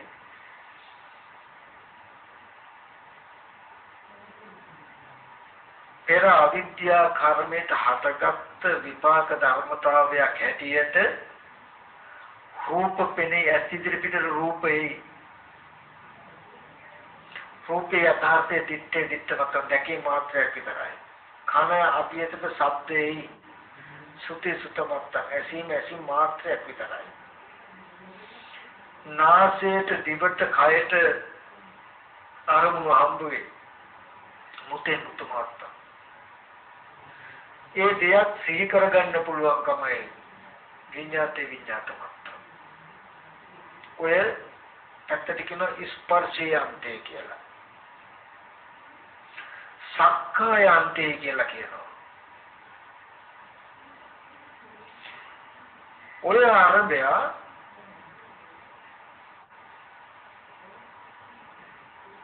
හිතින් කීන් කිරින් කරන්න පුළුවන් නම් අපිට අපි මේ ස්පර්ශ ආයතන හය හා බැඳෙනවා. ඒ කියන්නේ ඇහැට පෙනෙනවා පෙනෙන දෙයට මට හිතන්න පුළුවන් නම් මම පෙනෙන දෙයට බුලත් කියලා හිතුවාම පෙනෙන දෙයක මම ඉන්නවා මං එක්ක පෙනෙන දේ තියෙනවා පෙනෙන දේ මං එක්ක ඉන්නකොට මම පෙනෙන දේ එක්ක ඉන්නකොට පෙනෙන දෙයට මුණ හරි වෙනකොට මට රිදෙනවා එතකොට දිත්තේ දිත්තමත්තන් කියලා කියන්නේ පෙනෙන දේ පෙනීම පමණක් වුණොත් මොනවා හරි දෙයක් මම හිතුවොත් හිතනවා කියන දේ පෙනෙන දෙයට අයිති නැතුව පෙනෙන දෙයට අයිති නැතුව හිතීමෙන් පස්සේ ඒ සිතත් එක්කම හිතෙන දේ නිරුද්ධ වෙනවා කියන නුවණක් මට ආවොත් මම මේ පෙනෙන දෙයක නැහැ. පෙනෙන දේ මං එක්කත් නැහැ. ඒකයි බාහ්‍ය දාරු චිරිතක මාංශ දෙන්නේ බාහ්‍ය යම් වෙලාවක ඔබට තිත්තේ තිත්ත මත දැකීම දැකීම මාත්‍රයක් වුණොත් එකල්ලි ඔබ එහි නැහැ. එකල්ලි ඔබ එහි නැත්තම් ඒ අරමුණ ඔබ එක්කත් නැහැ. ඔබ අරමුණ එක්කත් නැත්තම් අරමුණ ඔබ එක්කත් නැත්තම් එකල්ලි බාහ්‍ය ඔබ මෙලොව නෙමෙයි. එකල්ලි ඔබ පරලොවත් නෙමෙයි. ඔබ මෙලොව පරලොව දෙයතර අතරත් නෙමෙයි. මේ දුකේ අවසාන. මේකෙන් කියන්නේ එක දෙයයි. අපිට හිතන්න කරන්න කියන්න කරන්න පුළුවන් දෙයක් තියෙනම් මේ හිතන කියන කරන දේවල් හිතින්ම සිහි කළා හිතනවා හිතින්ම සිහි කළා කියනවා හිතින්ම සිහි කළා කරනවා කියන දැක්මකට ආවොත් හිතන කියන කරන දේවල් එක්ක බාහිර ස්පර්ශ ආයතන හයට නැඹුරු නොවුනොත් අපි ස්පර්ශ ආයතන හයෙන් නිතිලයි ස්පර්ශ ආයතන හය එක නෑ දැකම් පවත්තන්නේ ඇහැ කන දිව නාසය ශරීරය කියන ආයතන හය එක චුට්ටක්වත් අපි ගන්න දෙනුවක් නෑ. එදාට අපි මේ ලෝකෙ මිදිලා. ඇහෙන් රූපෙන් චක්කු විඥාණයෙන් කනෙන් ශබ්දෙන් සෝත විඥාණයෙන් මිදිලා කියලා කියන්නේ පෙනෙන ඇහෙන දේවල් තිබුණට හිතෙන් තමන් නොඇලිලා ඉන්නේ හැම වෙලාවෙම පෙනෙන දේ දේ ඇලිලා බැඳිලා උපාදානව ඉන්නවා කියන්නේ වෙන මොකුත් නෙමෙයි. පෙනෙනකොට ආ රෝස මලක්නේ ලක්ෂණයිනේ කහ පාටයිනේ පුවක්නේ බුලක්නේ කියලා ඔන්න පෙනෙන දෙයට හිත හිතා නැඹුරු වෙනවා. අහවල් කායකයාගේ සින්දුවනේ කායිකාවගේ සින්දුවනේ අහවර කුරුල්ලගේ සද්දනේ කියලා අපි මේ හිතෙන් ශබ්දය කරා යනවා. ආයේ කෝපිම කෝපි සුවඳනේ කැවුම් බදික සුවඳනේ පිච්ච මල් සුවඳනේ කියලා හිතෙන් ගන්ධය කරන්න පුළුවන්. අපිට හිතෙන් දැන් හිතන්න පුළුවන්කම මේ පෙනෙන හැන කියන ආයතන ටිකට බැඳොත් අපිට ලෝකයක් නිර්මාණය වෙනවා. යම් වෙලාවක රහතන් වහන්සේ කියලා කියන්නේ මේ ස්පර්ශ ආයතන හයම පෙනෙන, ඇහෙන, ගඳ සුවඳ ලබන, රස විඳින ස්පර්ශ ආයතන හයම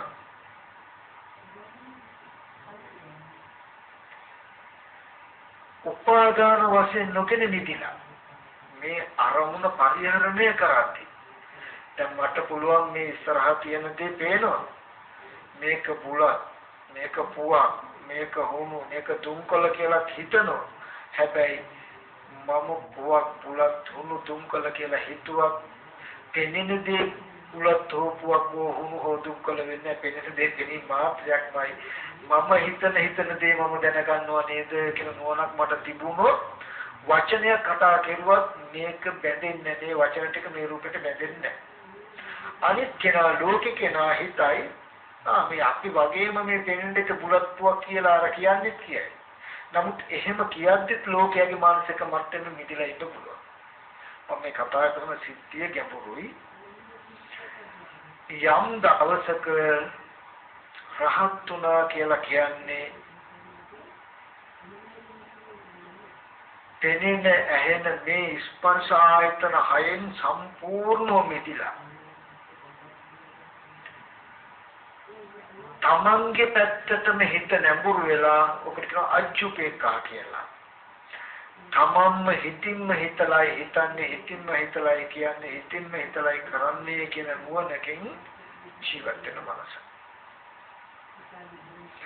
එතකොට කර්ම රැස්යෙන් හිතන්න පුළුවන් කියන්න පුළුවන් කරන්න පුළුවන් හිතන දේ හිතීමෙන් පස්සේ කියන දේ කීමෙන් පස්සේ කරන දේ කිරීමෙන් පස්සේ නිරුද්ධ වෙනවා මිසක රැස් වෙන්නේ හොඳට මතක තබා ගන්න කර්ම රැස් වෙන්න සහ කර්ම ක්ෂය වෙන්න ක්‍රම දෙකයි තියෙන්නේ. එකක් තමයි ඔගොල්ලෝ හිතුවත් බුලත් කියන එක ඒක පෙනෙන දෙයට බැඳොත් කර්ම රැස් වෙනවා. කෙනෙන දේ තිත්තේ තිත්ත මත්තම් බුලත් කියලා හිතනකොට මම හිතින් හිතුවට ඒක හිතන දේම නිරුද්ධයි කියන තැන දකින්න පුළුවන් වුණොත් හිතුව කර්මක්ෂය ඒකයි කර්ම පෙන්වන්නේ බලන්න. යස්මින් සමේ කාමවචර කුසල චිත්තං උප්පන්නෝ හෝති සෝමනස්සාගත ඥාන සතුත් අසංකාරකව සසංකාරක රූපාරම්මණං වා සද්ධාරම්මණං වා ගන්ධාරම්මණං වා රසාරම්මණං වා පොට්ටබ්බාරම්මණං වා ධම්මාරම්මණං වා යම් යම් වා පරාරබ්බ. යම් කවරක කාමවචර ඥාන සම්ප්‍රයුක්ත කාමවචර කුසල සිත උපදිනේද? ඒ කියන්නේ ත්‍රි හේතුක කුසල සිත. කොහොමද? රූපය රූපාරම්මණං වසද්දාරම්මන රූපය ආරම්මන කරගෙන හෝ සද්ද ආරම්මන කරගෙන හෝ ගන්ධය ආරම්මන කරගෙන හෝ රසය ආරම්මන කරගෙන හෝ පොට්ටබ්බය ආරම්මන කරගෙන හෝ ධර්මය ආරම්මන කරගෙන. කර්ම සිත් වෙන්නේ යම් වෙලාවක හිතන කියන කරන එකට රූපේ හෝ ආරම්මන නොවු සද්දේ ගන්ධේ රසය පොට්ටබ්බේ ධර්මාරම්මණය ආරම්මන නොවුනො ඒ හිතන දේ හිතීමෙන් පස්සේ නිරුද්ධ වෙනවා මිසක රැස් වෙන්නේ නැහැ. මොකද කර්ම රැස් වෙනවා කියලා කියන්නේ දැන් මම බුලත් කියලා හිතනවා. හිතපු වචනේ කොහොමද තිබුණාද? ඉවරයි. එතකොට මම තව වචනයක් කතා කරනකොට අර වචන ඉවරයි. තව දෙයක් හිතනකොට අර හිතපු එක ඉවරයි. නමුත් ඒ හිතපු දේ නිරුද්ධ වුණා ඉවර වුණා කියන්නේ නැතුව රැස් වුණා කියලා අපිට කියනවා. ඇයි? මම බුලත් කියලා හිතුවාම හිතන එක මේ රූපෙට බඳිනවා. ඒ හිතපු එක ඉවර වුණාට මරණාසන්න මොහොතේදී මට මේ රූපේ විතරයි පේන්නේ. පේනකොට මේ රූපෙට මේ විදිහටයි හිතලා තියෙන්නේ මේ විදිහටයි කලේ කියන ටික තේරෙනවා. අපි කවුරු හරි කෙනෙක් ගැන උත්තර තරහ ඇති වෙන විදිහට හෝ කුසල ඇති වෙන විදිහට හිතනවා. හිතපු සිද්ධිය නිරුද්ධ වෙනවා. නම් කර්ම රැස් වෙනවා කියලා කියන මරණාසන්න මොහොතේ අර රූපේ පේන්නේ. පේනකොට මේ රූපෙට මේ මේ විදියට හිතලා තියෙනවා නේද කියන ටික ඒකේ තියෙනවා. නමුත් මම හිතපු එක පෙනෙන හැන අරමුණකට බැඳෙන්නේ නැත්තම් මට කර්ම රැස් වෙන්න තැනක් තියෙද? ඒකෙදි මම මතක් කළේ මම මතක් කරන තැන ගැඹුරුයි. යම් දවසක තමන්ගේ තමන් කියලා කියන්නේ මේ හිතන්න හිතන්න පුළුවන් පැත්තට හිතන කමට දැන් හිතන්න කියන්න කරන්න පුළුවන් පැත්තට කියනවා තමන් කියලා තමන් පෙනෙන ඇහෙන දේ එක්ක ගනුදෙනුවක් නතර වුණොත් තියෙන ගනුදෙනුව නතර වෙච්ච දවසටයි සසර නතර වෙන්නේ. ඔකට කියනවා අනුපාදා පරිනිර්වාණය. ඇහැ කන දිව නාසය ශරීරය කියන මේ ස්පර්ශ ආයතන 6 උපාදාන වශයෙන් නොගෙන විදුනා කියන තැන. උපාදාන වශයෙන් නොගෙන විදුනා කියන තැන. යම් වෙලාවක අද පෙනෙන පැත්ත පුරාණ කර්මෙන් ආටගත් විපාකයි ඒක එක පැත්තක් හිතන කියන කරන දේ කර්ම කර්ම රැස් වෙනවද අස් වෙනවද කියන එක තියෙන්නේ අවිද්‍යාව මත හා විද්‍යාව මත හිතන්න කියන්න කරන එකට අවිද්‍යාව ප්‍රත්‍ය වෙනවා. මේ විපාකෙට පෙනෙන දෙයට හිතුවොත් කිව්වොත් කළොත් මොකද වෙන්නේ? කර්ම රචනවා කියලා කියන්නේ පෙනෙන දේ මහ භූතයන්ගේ උපාදාය රූපයක් වර්ණ සටහන. නැත්තම් මහ භූතයි. පෙනෙන රූපය එක පැත්තක්. මම බුලත් කියලා හිතනවා. මම හිතපු එකයි මේ රූපයයි දෙකම එකට එකතු කළා මේ හැඩේ බුලත් කියලා දැනගැනලා කැදිලා ඇති. නාම රූප පත්‍ය විඥාන. ඇහැට පිටින් තියෙන වස්තුවක් ගැන තමන් තමන්ගේ පැත්තේ දැනුමක් ඇති වෙලා. දැනුමක් තිබුණොත් ඒක හිතන හිත හිතට සිහි කරන්න පුළුවන්. දැන් බලන්න ඇහැට පිටින් තියෙන ඇගේවත් හැපිලා නැති කාය ප්‍රතිබද්ධ නොවු වස්තුවක් කරනද අපි තුලට දැම්මක් ඇවිල්ලා. Taman තුලට යම් දෙයක් දැනුමක් ආවොත් ඒක ඕන වෙලාවක සිහි කරන්න පුළුවන් නේද? දැන් කේතර කාර්යක යාළුවෝ මිත්‍රයෝ කියලා බලන්න ඕගලන්ට සිහි කරන්න පුළුවන්කම තියෙන්නේ ඕගලන්ට දැනුමක් ඇති වෙච්ච දෙයක් කරන්න විතරනේ. හරි. ඕගලන්ට දැනුමක් ඇති වෙන්න ඇතුළත පිටත දෙයක් ඇතුළත දැනුමක් හැටියට ලබා ගන්න තියෙන එකම මාර්ගය තමයි චේතනාව. අරමුණක හිත හසුරන ආකාරය මත. ඒකයි බුදුරජාණන් වහන්සේ දේශනා කළේ යංච චේතේති පකප්පේති ආරම්මන සමේතම් විඥානසති යංච න චේතේති පකප්පේති යංච අනුසේති ආරම්මන සමේතම් විඥානසති මේ ආරමුණට හිතයිද කල්පනා කරයිද ඒ විඥානේ පිළිටනවා යම් කිසි කෙනෙක් හිතුවේත් නැහැ කල්පනා කළෙත් නැහැ ඒ අනුශේ වශයෙන් හෝ පැවතුනොත් අරමුණේ විඥානේ පිළිටනවා ඒක කිව්වේ සමහර විටක බුලත් පුවක් හෙප්පුව කියලා මේ වගේ ප්‍රඥප්තිය ඕනෙත් නැහැ. මේ පෙනෙන පැත්ත විපාකයි හිතන කියන කමින පැත්ත ඊට අයිති නෑ ඒක හිත පිළිබඳ වූක්මයි කියන එක නොදන්නා කමින් බැලුවහම ඇති. මේ හිත පැත්ත අර්ථතර සම්පත් වෙලා. ඔකට කියනවා ආත්‍යෝසාය තිත්තටි. මට මතක් කරන්න ඕනේ ඔන්න ඔය විදිහටයි පෙනෙන ඇහෙන දෙයට අපි හිතන කියන දේ පෙනෙන ඇහෙන දෙයට බැඳලා බැඳලා කටයුතු කරන එක තමයි ජීවිතේ පුරාවටම කරන්නේ භවය කියන්නේ ඕක. මරණාසන්න මොහොතේදී වෙන්නේ හිතින් කින් කිරින් බැඳපු රූපයක් හෝ සද්දයක් හෝ සිහිවෙන එක විතරයි. සිහිවෙන. දැන් මුදින් තුරේ ඇහින් පේන. හොඳට නව අරහදී බුදුගුණ හිතෙන් කියනවා. කරනවා. කුසල. හැබැයි කියන එක මම හිතන එක නිරුද්ධයි. මරණාසන්න මොහොතේ මේ රූපේ පේනවා මට. හැබැයි මේ රූපෙට මෙව ශ්‍රද්ධාවෙන් හිතුවනේ කියන gati ටික එතකොට තියෙයි. ඔන්න ඔය විදිහටයි පෙර ජීවිතේ කර්ම සකස් වෙලා දුක හදාගෙන අද මෙතෙන්ට එන්න උනේ අපිට එන්න පුළුවන් උනේ ආපි. අදත් අපිට මේ පෙනෙන ඇහෙන දෙයට හිතින් කින් කිරින් හොඳට හෝ නරකට බැඳොත්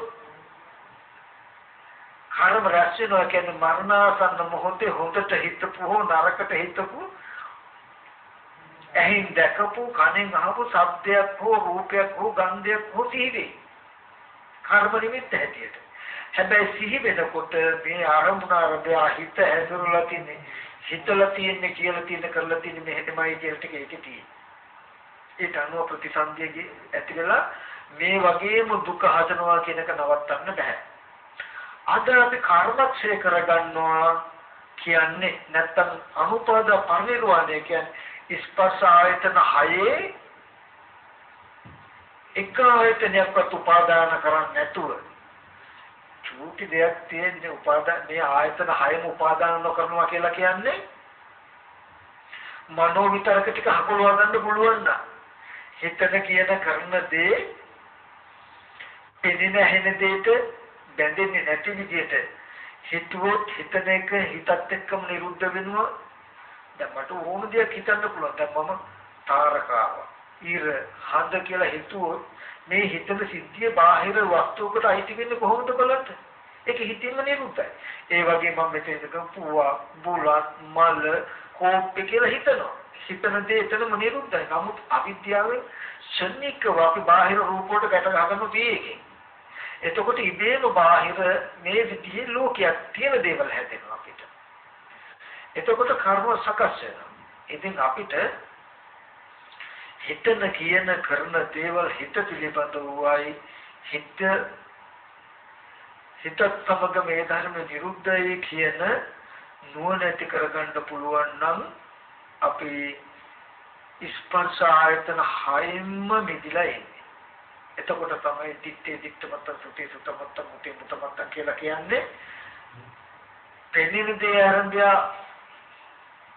ඔබට යමක් හිතන්නවත් කියන්නවත් කරන්නවත් බෑ පෙනෙන දේ පෙනීමක් පමණයි කියන නුවණ ආවොත් පෙනෙන දේ පෙනීමක් පමණයි. දිත්තේ දිත්තමත්තන් කියන නුවණින්නේ ඒ ආරම්භය හිතන්නවත් කියන්නවත් කරන්නවත් බෑ හිතන කියන කරන දේවල් නව කර්ම ඒවා හිත පිළිබඳ වූවක්මයි. පෙනෙන දේ පෙනී මාත්‍රය කියලා මේ අන්ත දෙක දෙපැත්තකට ගියොත් එදාට කර්මක්ෂය මේ දැන් මම මේ මතක් කළේ ඵලයක් යන දර්ශනයක්. තේරෙන්නේ හොඳට අහගන්න කියලා කිව්වේ ඔය දැන් මම ඵලයක් ගැන කතා කළේ දර්ශනයක් ගැන ඒ කියන්නේ රහතන් වහන්සේ කියලා කිව්වේ අනුපාදා පරිනිර්වාණය කියලා කිව්වේ අවිද්‍යාව උපදවාගත්ත ජීවිතය කියලා කියන්නේ මෙන්න මෙහෙම තැනක් කියන එකයි කිව්වේ. ඕක ඕගලන්ට කරන්න බෑ කරන්න කිව්වෙත් නෑ මම. නමුත් මේ දර්ශනය මම මතක් කළේ කවදා හරි දවසක මේ සසරින් එතර වෙන්නේ මේ වගේ තැනකට අපේ මනස ගිය දවසටයි කියන්නේ. තේරෙනවද? දැන් ඔක තුල මොන විදිහට කරන්න පුළුවන්ද අපිට අද දවසේ කරන්න බෑ. මොකද පෙනෙන දේ පෙනීමක් පමණක් විතරයි හිතනවා නම් කියනවා නම් කරනවා නම් ඒක හිත පිළිබඳ වූවක්මයි පෙනෙන දෙයට අයිති නැහැ. පෙනෙන දෙයට බැඳුත් කර්ම රැස් වෙනවා කියලා අහගත්තත් බොහෝ කල සිට පැවතෙන හුරුවක් තියෙනවා පෙනෙන දෙයට හිතන්න පුළුවන් අහන දෙයට හිතන්න පුළුවන් කියන හුරුවක් තියෙන නිසා ආශ්‍රව කිවිලා නැති නිසා නතර වෙන්න ඉබේම හිතෙනවා. එතකොට දැන් මම මේ කතා කළේ දර්ශනය රහතන් වහන්සේ කියලා කියන්නේ ඇස් ඉදිරි පිටට රූපේ එනවා. ඒ ඒ කිසිම රූපකින් උන්වහන්සේගේ මනස කම්පා වෙන්නේ නැහැ කම්පා කරන්න ඒ හැම අරමුණක්ම නොයලී විඳිනවා ඒ අරමුණේ විනාශයද දකිනවා. ඒක නැති වෙන කමද දකිනවා. ඒක එහෙම වෙන්නේ මේ වගේ නොයලී ඉන්න නිසා කියන දර්ශනය මතක් කළා දැන් අපි ඔතෙන්ට යන්න ක්‍රමයක් හදා ගන්නයි ඕනේ. එතනයි ඊගාට වැඩගන්න මෙන්න මේ ටික මතක තියාගන්න ඕනේ. ওই ටිකට ඉස්සෙල්ලා මම කිව්වා වැඩි මතක තියාගන්න ඕනේ හොඳින් අහන්න. දෙවනි ටික දර්ශනය මතක් කළා වඩාත් හොඳින් අහන්න. ඒකක්ක මතක තියාගන්න කිව්වේ නෑ. මේ කියපුවා මතක තියා නොගත්තත් ඕගොල්ලෝ උතෙන්ට පැමිණෙනවා. දැන් මම මේ කියන ටික හොඳට මතක තියාගන්න ඕනේ. ඒක තමයි ඕගලන්ට කරන්න යමක් හම්බ වෙන්නේ. මේ සඳහා අපිට තියෙන්නේ එකම එක දොරටුව යන්න උපායයි. ඒ උපායය අපි හොඳට දක්ෂ වෙන්නට ඕනෙමයි. ඒකෙදි සීලේක තමන්ට පුළුවන් විදිහක පන්සිල් හරි ආජීවස්තමක සීලය හරි උපෝසත සීලයක හරි සීලයක පිළිතලා බුදු ගුණ අසුභේ මරණේ මෛත්‍රී ආනාපාන සති ආදී නීවරණ ධර්ම දුරු වෙන සමත කමඨානකින් හිත වඩ වඩ විදර්ශනා කොට යුතුයි. දැන් මම විදර්ශනා කරන හැටි කියලා දෙනවා. මේ කියලා දෙන ක්‍රමය අනිවාර්ය ඒකාන්තයෙන්ම ඕගොල්ලෝ නිවනට පමුණුවනවාමයි. හරිද? ඒ හින්දා හොඳට මතක තබා ගන්න ඕනේ. හරිද? මේ ටික අවශ්‍යමයි. මොකද එච්චරට ඒකේ වටිනාකමක් මම දන්න හින්දායි කියන්නේ මේ හරහා නොගොස් වෙන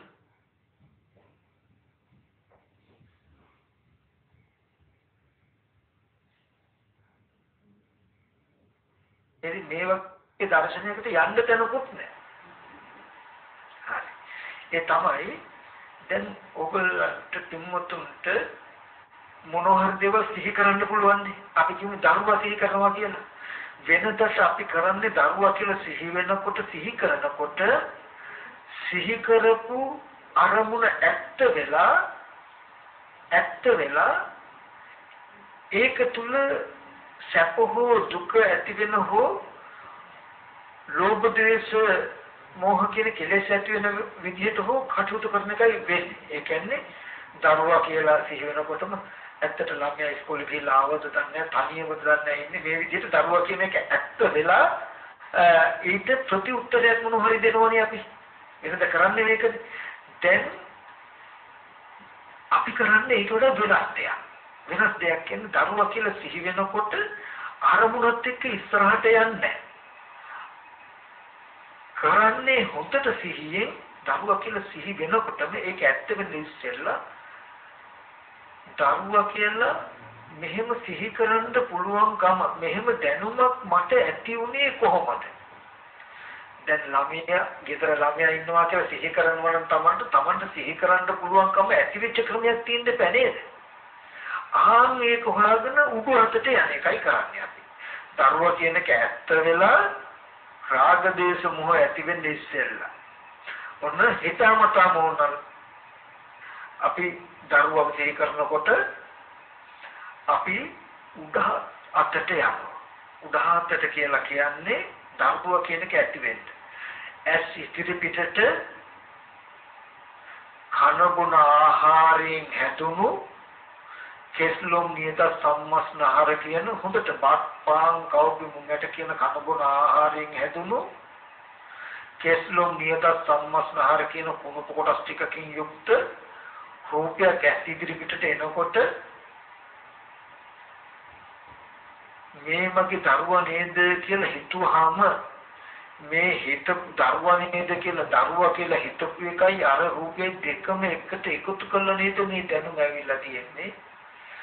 ඔන්න හොඳට බලනකොට පිටිපස්සට ගිහිල්ලා දැන් මෙනෙහි නොකරනත ඕගොල්ලන්ට බාහිර දරුවෙක් හිටිය දරුවෙක් ඉන්නවා කියලා හිත සිහි කරන්න පුළුවන් ඕන තරම්. හැබැයි ඒක විඥානයේ මායාවක් කියන්නේ. හැබැයි ඒ දැනගත් දරුවා කියලා දැනගන්න පුළුවන් සිහි කරන්න පුළුවන් කම විමසල බලනකොට ඊට අදාළ භූමියක් නෑ. කනබුන ආහාරයෙන් හැදුණු කුණු පොකොරස් ටික වින්තු රූපයක් ඇස් ඉදිරි පිටට ඇවිල්ලා තියෙයි. ඒකට මේ මගේ දරුවා නේද කියලා හිතලා තියෙයි. එහෙම හිතනකම මේ රූපය දෙකම එකතු කරලා මේ මගේ දරුවා කියලා දැනගත තියෙයි.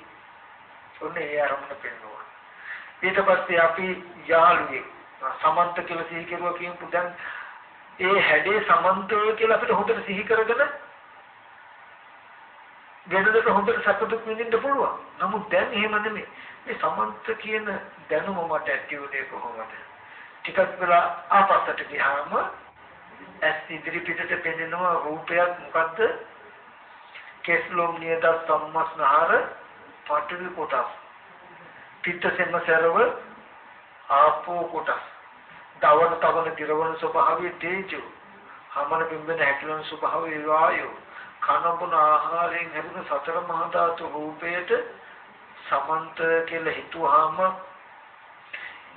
සමන්ත කියලා හිතපු කමත් ඒ රූපය දෙකම එකට එකතු කරන මේ දැනුම ඇති වෙලා ඒ රූපේ සමන්ත කියලා. ආ විඥානේ නාම රූප පත්‍ය විඥාන. සමන්ත කියලා දැනගැනලා කැටි වෙලා තියෙයි. දැනගැනලා ඇති වෙලා තින්නේ කොහොමද? මේ නාමයයි මේ රූපයයි. මේ සමන්ත කියලා හිතපු කමයි මේ රූපය දෙක එකතු කරලා මේ සමන්තය කියලා දැනගැනලා කැටිවිලා තියෙන්නේ. එතකොට හොඳට යනකොට දැන් එහෙම කෙනෙක් නෑ නෙමෙයි එහෙම කෙනෙක් ඉඳලාද නෑ දැන් නෑ කියලා බැලුවට වැඩන්නේ හිටියනේ කියන තරකින් හරි තිබුණොත් කෙලස් කියනවා. දැන් අපිට තාත්තා නෑ අපි. නැති වුණාට බෑ හිටියනේ කියන තරකින් ඉස්සර හිටියනේ අපි තාත්තා කියන තරකින් හරි කෙලස් කියනවා. නමුත් කවදාවත් හිටියෙත් නැත්තම් ඉන්නවත් නෙමෙයි නම් අනාගතේ ඉඳින්නේත් නැත්තම් මට කෙලෙස් ඉදිරියට යනවා. ඒ වගේ ඔන්න තමන්ගේ හිත දන්නවා හොඳට සිහි කරලා මේ වෙලාවේදී සවිඥාන කර්මෝ ටික විතරක් ගන්න. කෙවල් දුරවල් යාන වාහන ඉද කඩන් වලට තාම අපේ හිත දැඳිලා කැඟත්ත තියෙනවා තමයි. කමක් මේ සත්ත්ව පුද්ගල භාවයේ තියෙන කෙලෙස් ටික අඩු වෙනකොට අරවා ඉබේම අඩු වෙනවා. ඒ හින්දා ඒක සතිපට්ඨානේ හැම වෙලාවෙම බුදුරජාණන් වහන්සේ රූපයක් පෙන්වනකොට සවිඥානික රූප ටිකෙන් ඔබට යන්නේ නැත්තේ වේදනාවක් පෙන්වනකොට ආධ්‍යාත්මික ආයර වේදනාවක් පෙන්වන්නේ සත්ත්ව පුද්ගල භාවයේ තුල තියෙන බැඳීම අයින් වෙනකොට ඔක්කොම අයින් වෙනවා. මම කියන තැන බැඳීම අයින් වෙනකොට මගේ මම කියන තැන බැඳීම නිසයි මගේ අම්මා තාත්තා දුව පුතා කියලා කොටුවක් හදාගෙන තියෙනවා. මට උපකාර ඒ ඇයිටයි මටයි උපකාර පිණිස තමයි බාහිර භෞතික වස්තු තියෙන්නේ. අම්මා තාත්තා දුව පුතා සහෝදරයෝ කියන ටිකේ බැඳීම බැඳීම අඩු වෙනකොට වස්තුන්ගේ තියෙන බැඳීම අඩු වෙනවා. මම කියන තැනක තියෙන බැඳීම අඩු වෙනකොට අනිත් දේවල් වල තියෙන එකත් අඩු වෙනවා. ඔය විදිහටම මම කියලා අපිට සිහි කරන්න පුළුවන් නම් ඒ පැත්තට හිත යොමු කළ මේ රූපයත් කන බොන බත්පාන් කවුරු මුංගට කියන කන බොන ආහාරයෙන් හැදුණු කේස් ලොම් නියත ධම්මස් මේ වගේ කුණු කොටස් ටිකක් තියෙන රූපේට මම කියලා හිත හැසිරෙව්වහම මම කියලා හිත හසුරපු කමත් මේ රූපය දෙකම නිසා මේ රූපය මම කියලා දැනගැනලා කැටි වෙලා නේද? ඔන්න මම මේ රූපේ මම කියන දැනගැනලා ඇති උනේ මෙහෙමයි කියලා හොඳට පෙන්නනවා. ටික ටික පෙන්නකොට පෙන්නඳ පෙන්නඳ මම කියලා කෙනෙක් ඉන්නවමයි කියලා රූපේ තුල තියෙන අවිද්‍යාව ගෙවෙනවා. මේ රූප අම්මමයි මේ රූප දරුවමයි මේ රූප යාළුවමයි කියන එක ගෙවෙනවා දැනුමක් මංගාව තියෙනවා දැනගැනිල්ලක් තියෙන හැබැයි දැනගැනිල්ල ඇතිවිලා තියෙන්නේ මේමයි මේ නාමයයි මේ රූපේ නාම රූප දෙක ප්‍රත්‍යනුයි කියන එක බලන්න. එතකොට ඒකත් කරන්න ඕනේ මෙහෙම අපි කියමු ආනාපාන සති කමඨාන හෝ අසුභය හෝ මරණය හෝ කුමන හෝ කමඨානකින් හිතේ හිතේ කතා කරන gati අඩු වෙන විදිහට හිතේ විසිරුණුකම අඩු වෙන විදිහට කමඨානක් වඩනවා. අපි කියමු ආනාපාන සති භාවනාව කරනවා හොඳට. ටිකක් කළා හිතා මතාම නතර කළා ඕගොල්ලන්ට දැනෙනවනේ බාහිර පුත්කලිය සත්‍යෝ ඉන්නවා කියලා දැනෙනවා දැනෙනවනේ අපිට. තමන්ගේ ජීවිතේට පරිබාහිර බාහිර පුත්කලිය සත්‍යෝ ඉන්නවා කියලා දැනෙන දැනෙන ගොඩේ එක අරමුණක් සිහි කරලා ගන්නවා. එක එකක් සිහි කරලා ගන්නවා. අරගෙන ඒ රූපේ හොඳට බලනවා. ධාතු වශයෙන් කුණුප කොටස් වශයෙන් ආහාර ප්‍රත්‍යයෙන් හැදුණු වශයෙන් එහෙම නැත්නම් ටීවී එකක වගේ වර්ණ මහ භූතයන්ගේ වර්ණ සටහනක් වශයෙන් ඔය ඔක්කොම ක්‍රම ඕනේ. එක ක්‍රමයකට හොඳට බලලා ඉබඳු රූපයට මේ මේ ප්‍රඥප්තියෙන් හිත හැසිරෙවුවා. දරුවා කියලා පුතා කියලා අම්මා කියලා නංගි කියලා. මොකද හොඳට මතක තියාගන්න ඕනේ හිත හසුරන ආකාරය මත කෙලෙස ඇති අපි කියමු තරුණ දැනුලමේ කියනවා අපි මේ මගේ නංගී කියලා හිත හසුරවනවා කිසිම රාගදී අරමුණක් එන්නේ නැහැ. මේ මගේ අක්කා කියලා හිත හසුරවනවා පෙනෙන සිද්ධිය. නමුත් අපි වෙනත් විදිහකට ගැහුණා මේ කෝ කියලා ගත්තොත් හිත හැසිරෙවු අපිට කෙලෙස් ඇති ඇති වෙන්න පුළුවන්. ඒ වගේ අරමුණක පෙනීම මත නෙමෙයි හිත හසුරුන ආකාරය මත කෙලෙස් ඇති වෙනවද කියන එක කියන්නේ. නේද? එතකොට ඒකයි විතර ප්‍රඥප්තිය වටින්නේ අපි ඇස් ඉදිරි පිටට ආපු රූපය හොඳට පෙන්නලා ඒ රූපයට මෙන්න මේ විදිහට හිතුවා. මේ විදිහට කැමැත්තෙනුත් හිතුවා. ඊකාට විඥානයේ පිහිටන්ද ප්‍රඥප්තිය ඕනේ මේ පේන අරමුණ හරි වටිනවනේ කියලා හිතුවාම මේ වටිනාකමයි මේ රූපය දෙක එකට එකතු කරලා වටිනා රූපයක් කියලා වටිනවා කියලා දැනගන්නවා. ඔයගලන්ට වටිනා වස්තු හම්බෙලා තින්නේ එහෙම. ඇස් ඉදිරි පිටට රූපයක් එනවා. මේවට තමයි රත්තරන් කියන්නේ. මේක නම් පවුම් පහක් විතර බරයි. පවුමක් දැම්ම කියලා 60000ක් වත්‍රි හිතින් ගණන් බලනවා මේකට. ඊට පස්සේ මේ හිතපු වටිනාකමට හිතපු gati ටිකත් අර රූපය දෙකම එකතු කරලා ඕගොල්ලන්ට දැනගැනලක් ඇති වෙයි මෙච්චර වටිනා වස්තුවක්. බාහිර තියෙන දේ අරගෙන වට ගොඩාක් වටිනවා කියලා දැනුමක් ඇවිල්ලා. මො කොහොමද එච්චර වටිනා දැනුමක් තරාදිය කරලා තරාදිය ගිහිල්ලාද? එහෙම යදිලා තියෙන්නේ. එතකොට මේ මේ ආයතන හයේ නොයල්ලි මිදෙන්න තියෙන එකම උපායය ඕක. දැනුමක් ආවහම දැනුම ඇත්ත කරගන්න නැතුව ආපස්සට යනවා. ඊට පස්සේ ඒකද කරන්නේ සවිඥානික අරමුණු වල අද අපිට මෙහෙම ඉන්නකොට ඉඳගෙන හිටගෙන නිදාගෙන ඇවිදින හතර ඉරියව්වේ ඉන්නකොට බාහිර ලෝකෙ පැත්තේ සත්ත්ව පුද්ගල භාවයට තව අය ඉන්නවා කියලා දැනෙන දැනුමක් තියෙනවනේ දැනුම් කොටුවක් තියෙනවනේ ඒකෙන් එකක් දෙකක් උදුරලා ගත්තා. රූපය හොඳට බැලුවා. එබඳු රූපයට මේ මේ ප්‍රඥප්තියෙන් හිත ඇතුළේ එතකොට ඒ රූපය ඇතිදිරි මෙන් තියාගෙන මේක නම් හොඳ නැති කෙනෙක් මෙහෙම මෙහෙම දේවල් කළා තිනවා කියලා ද්වේෂාගතව හැසිරුවාම ඒ හිත හසුරපු කමයි අර පිනින් දේ එකට එකතු කරලා නරක කෙනෙක් කියලා දැනුමක් ඇවිල්ලා ඇති. හැම වෙලාවෙම පෙනෙන වස්තුව පෙනෙන පැත්තේ හොඳ කෙනෙක් වූ නරක කෙනෙක් ඇති උනේ හොඳට හිතන දේ ඒකට බැඳපු නරකට හිතන දේ ඒකට බැඳපු වටිනාකමට හිතපු දේ ඒකට බැඳපු රාග ස්වභාවයට හිතපු දේ ඒකට බැඳපු ආකාරය මතයි. තේරෙනව නේද? අන්න ඒ මේ විඥානේ. දැන් අපිට හොඳයි සිහි කරන්න පුළුවන් නරකයි සිහි කරන්න පුළුවන් වටිනා දේ සිහි කරන්න පුළුවන් නොවටිනා දේ සිහි කරන්න පුළුවන් හැබැයි හොඳට සිහි කරන්න නරකට සිහි කරන්න වටිනාකමට නොවටිනාකමට සිහි කරන්න පුළුවන්කම හැදුනේ කොහොමද කියලා පෙන්වුවේ නැත්තම් අපි හිතන්නේ ඇත්තටම හොඳ දේවල් තියෙනවා නරක දේවල් තියෙනවා හොඳ අය ඉන්නවා නරක අය ඉන්නවා කියලාමයි හිතෙන්නේ අපිට. මම කියන එක තේරෙන්නත් නැහැ. දැන් අපිට ලෝකෙ දිහා බලුවම ඕගොල්ලන්ට තේරෙන්න ඕනි මනසට හොඳ මිනිස්සු ඉන්නවා නරක මිනිස්සු ඉන්නවා හොඳ දේවල් තියෙනවා නරක දේවල් තියෙනවා වටිනා දේවල් තියෙනවා නොවටිනා දේවල් තියෙනවා කියලා දැනුමක් තියෙනවානේ හරි.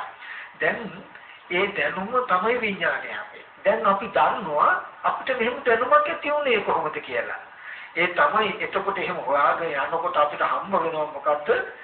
ඇස් ඉදිරි පිටට වස්තු තියාගෙන හිත හසුරන හසුරන ආකාරයට ඒ වස්තුව ඒ හිතේ හැසිරීමෙන් දැනගෙන කියන උත්තරේ එනකොට ඉබේම ඉබේම හිත හසුරන හසුරන ආකාරයට දැනගෙන මිසක වටිනා හෝ නොවටිනා හෝ හොඳ හෝ නරක හෝ රූපවල තිබෙන නැහැ ඒක මෙහෙමුනේ මෙහෙමයි කියන උත්තරයක්. ඒකම ඔබට එහා පැත්තට බාහිර ආයතනයට නොයන්න දිත්තේ දික්තමත්තන් කරන තැනට ඔබ ඉබේ નિરાයාසයෙන් අරගෙන යයි. මම මේ කියන ටික ගොඩාක් වටින දෙයක් ඔබට තේරෙනවා නම් එතකොට මේ විදිහට අරමුණු කීපයක් හිතනවා. හිතනකොට ඔබේ සමාධි ගතිය අඩුයි. ආයෙත් හිතනකම නතර කරලා ආයෙත් සති නිමිත්තට හොඳට හිත තියලා ආනාපාන සතිය හෝ මෛත්‍රී භාවනාව හෝ සමතකමට ආයෙත් ටිකක් වඩනවා. ටිකක් වඩලා ආයෙත් නතර කරනවා. නතර කළා ආපහු බාහිර සත්පුද්ගල භාවයේ තියෙන අරමුණු එහෙම නැත්නම් හොඳට නරකට තියෙන අරමුණුවක් කමන්නේ. සවිඥා හිතනවා.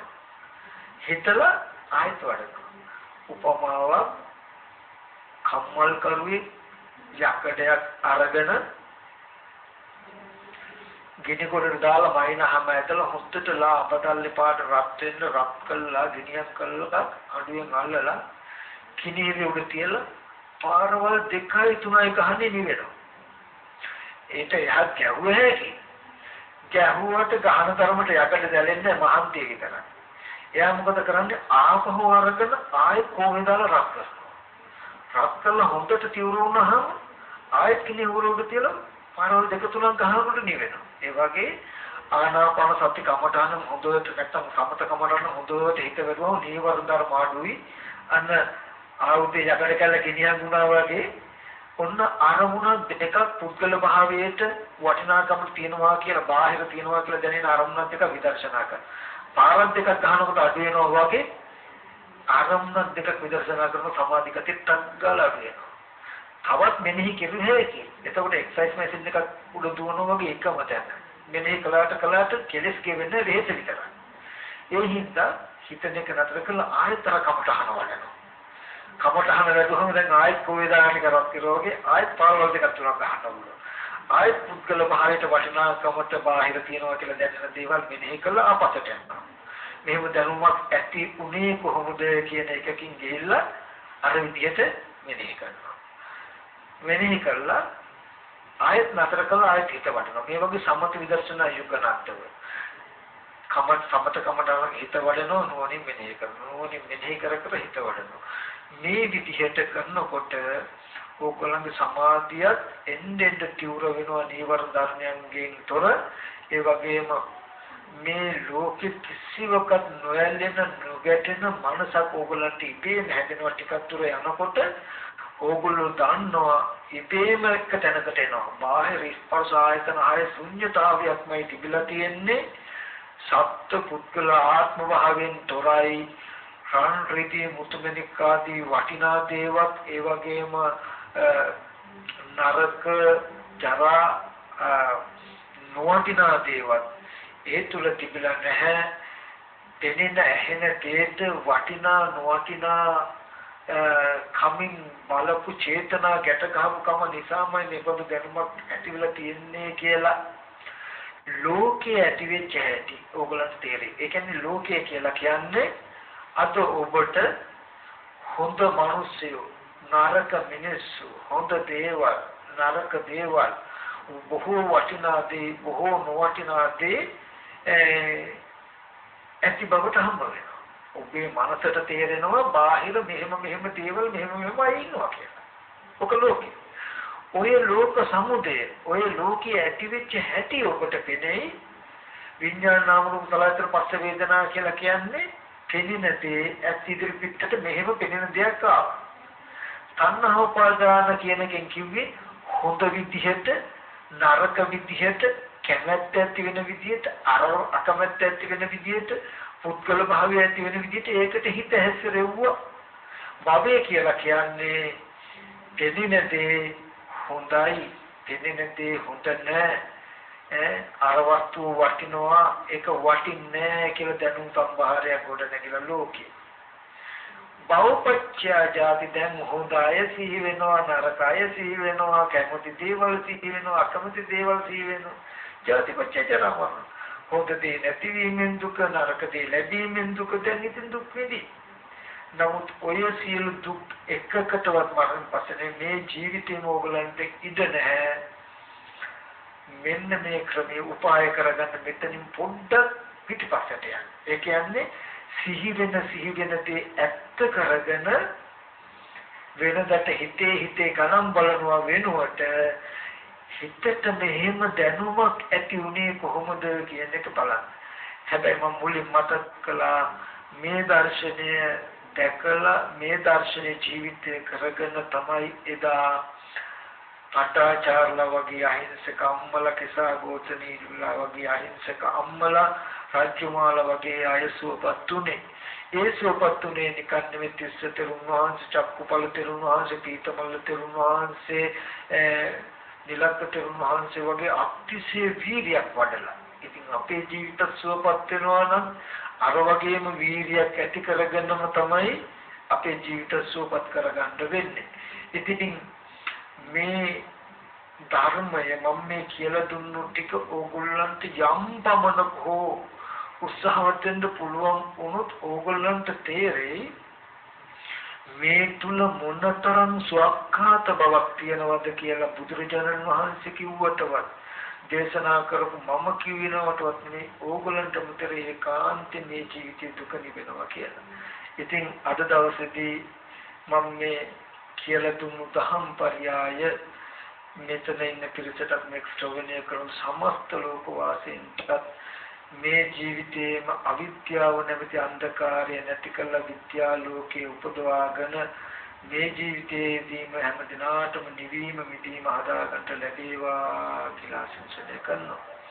අපි පින් අනුමෝදන් කටයුතු තැන් වලට පින් අනුමෝදන් කරමු විශේෂයෙන්ම ලෝක්‍ය සම්බුද්ධ ශාසනයත් මේ පින්වතුන්වත් මේ පින්වතුන්ගේ කිවල් දුරවලට රක්ෂාදිස්ථානට අධිකෘතු ශාසන මාම් ක්‍රිෂ්ඨකාරක සීල දෙවියෝ මේ පින් අනුමෝදන් වෙත්වා දිව්‍යංග පිළිසුර වඩා වර්ධනය කරගෙන මේ දිව්‍ය පත්‍ර බෝධික මුතුන් වෙන සනසෙත්වා. ඒ වගේම සිල් උතුම් නිවන සැනසෙත්වා කියන අදහසින් අපි දෙවියන්ට පින් අනුමෝදන් කරමු. ඒ වගේම දෙවියන්ගේ ආරක්ෂාව තුනේ පින් උතුම් කරේ නිබඳව නිරතුරුව ලබා දෙත්වා කියන අදහසින් අක්කා සත්තා ච බුම්මට්ටා දේවානාගා මහිත්‍තිකා පුඤ්ඤන්තං අනුමෝදිත්වා චිරන් රක්කන්තු බුද්ධ ශාසනං ආකා සත්තා ච බුම්මට්ටා දේවානාගා මහිත්‍තිකා පුඤ්ඤන්තං අනුමෝදිत्वा චිරන් රක්ඛන්තු බුද්ධ ශාවකං ආකාශත්තා ච බුම්මත්තා දේවා නාග මහිත්‍තිකා පුඤ්ඤන්තං අනුමෝදිत्वा භෝධයන්තු සුවං පදං එවැගේම අවිද්‍යාන්තකාරය දුරු කළා ප්‍රඥා ලෝකේ උපදවාගෙන මේ ජීවිතේම නිවීම මිදීම හදා ගැනීම සඳහා වූ මේ දහම් පරයයත දේශනා කරනකොට ඒ දේශනාව සඳහා බොහෝම සත්භාවයෙන් සහ සම්බන්ධ වෙන කල්යාණ මිත්‍ර දෙතිරසක් සිටි අපි ඒ මුලින් මතක් කළොත් විහෙරගොඩ වෙල්ලම්පිටියේ පදිංචි එම්.ඒ. සුමනාවති මෑණියන්ගේ දූදරු පිරිසක් ඒ වගේම ඕස්ට්‍රේලියාවේ මෙල්බන් නුවර පදිංචි සුමිත් කුලරත්න මහත්මයා ලතා කුලරත්න මහත්මයා ඇතුළු දරුවන් තිදෙනා වන කවින්ද දේවක පුතුණුවන් නිලංක රන්දන පුතුණුවන් ඒ වගේම තුසිකා රන්දිය දියණියනුත් ඒ වගේම ගීතා ද සිල්වා මෙතිනිය ඒ වගේම එතුමගේ ස්වාම පුරුෂයා කියන ඒ සියලුම සත්පුරුෂ පින්වතුන් මේ දේශනාවේ දායකත්වයේ දරනවා. ඒ වගේම ඒ අයගේ බලාපොරොත්තු රාශියක් ඒ තමයි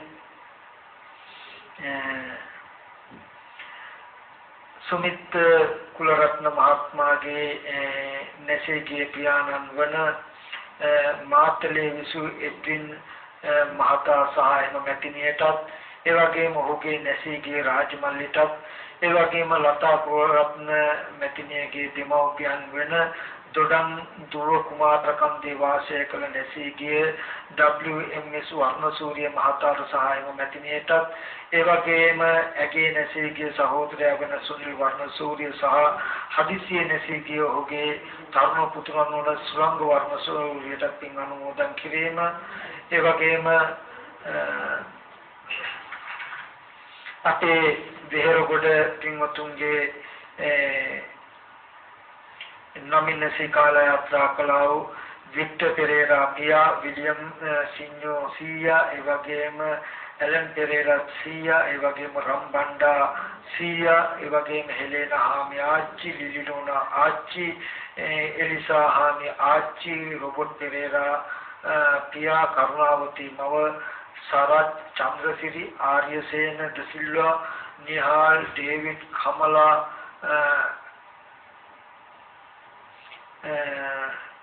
ඇතුළු සංසාරගත යහලේ සියලුම මියගේ ඥාතින් සිහිපත් කරනවා. ඒ වගේම තව ඒ මුතුන්ගේ බලාපොරොත්තු ප්‍රාර්ථනාවක් තියෙයි. අපවත් වේවදාල ගෞරවනීය අපගේ ධර්මගම කුසල ධම්මනායක හිම්පන්වන් වහන්සේට ඒ වගේම සෝම ස්වාමීන් වහන්සේට පානදුරේ අරියදම ස්වාමීන් වහන්සේ ඇතුළු අපවත් වදාළෝ සියලුම දෙනාටත් පින් අනුමෝදන් කරනවා. ඒ වගේ මතක් කරන්නට ඕනේ ලබුණු රුවරණ සේන සංචිතේ ප්‍රධාන අනුශාසක අපේ මහකොළ නන්දරත්න ස්වාමීන් වහන්සේගේ ඒ වගේම අපේ සත්පත්චාරින් වහන්සේගේ ආදරණීය පියාණන් වහන්සේ රාත්‍රියේදී අභව ප්‍රාර්ථනා වුණා. ඒ නන්දරතන ස්වාමීන් වහන්සේගේ අභාව ප්‍රාප්ත වන පියා අවුරුදු 76ක් ආයු වලදා HWC uh, විජේසේන ඒ ආදරණීය පියාණන් මේ මොහොතේ අපි සිහිපත් කරනවා. දෙපිරිසේම වර්ග પરම්පරාගත නිවිගේ ඥාතින් අපි මොහොතේ සිහිපත් කරනවා. ඒ අය විතරක් නෙමෙයි මේ සමස්ත ලෝකවාසී සියලු දෙනාගේ මේගේ ඥාතින් සිහිපත් කළා. මේ දේශනාවේ ජනිත වෙච්ච සියලු කුසලයන් ඒ සියලු දෙනාට අපි අනුමෝදන් කරමු. අනුමෝදන් වෙත්වා කියන අදහසින් අපි ඥාතිට පින් අනුමෝදන් කරමු. ඉදම් මේ ඥාතිනම් හෝතු සුඛිතා හොන්තු ඥාතයෝ। ඉදම් මේ ඥාතිනම් හෝතු සුඛිතා හොන්තු ඥාතයෝ। ඉදම් මේ ඥාතිනම් හෝතු සුඛිතා හොන්තු ඥාතයෝ। ඒ වගේම අපේ විහෙරගොඩ වෙල්ලම් පිටියේ පටිංචි පිරිසගේ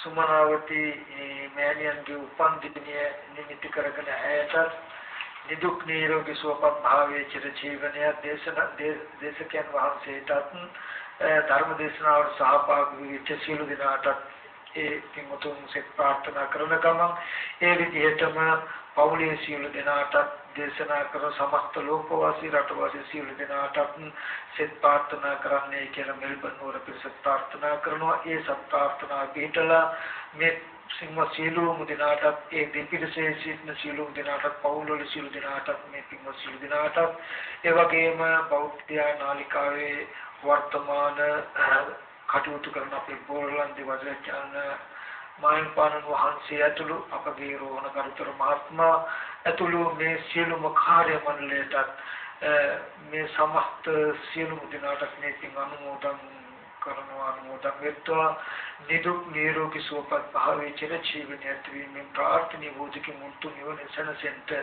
මේ සියලු කුසල හැම දිනාට උතුම් නිවන් පිණිස පාරමී වේවා කියලා ආශිර්වාද කරනවා. අපේ නැකන් දිනම වන්දනා කරගන්න විවාදන සීලිස නිච්ඡං වත්තාපචායනෝ චත්තාරෝ ධම්මා වඩ්ඩಂತಿ ආයුවන්නෝ ස්කම්බලං ආයුරෝග්‍ය සම්පatti සග්ග සම්පatti මේව චාතෝ නිපාන සම්පatti මිනාති සමිච්ඡතු සාදු සාදු සාදු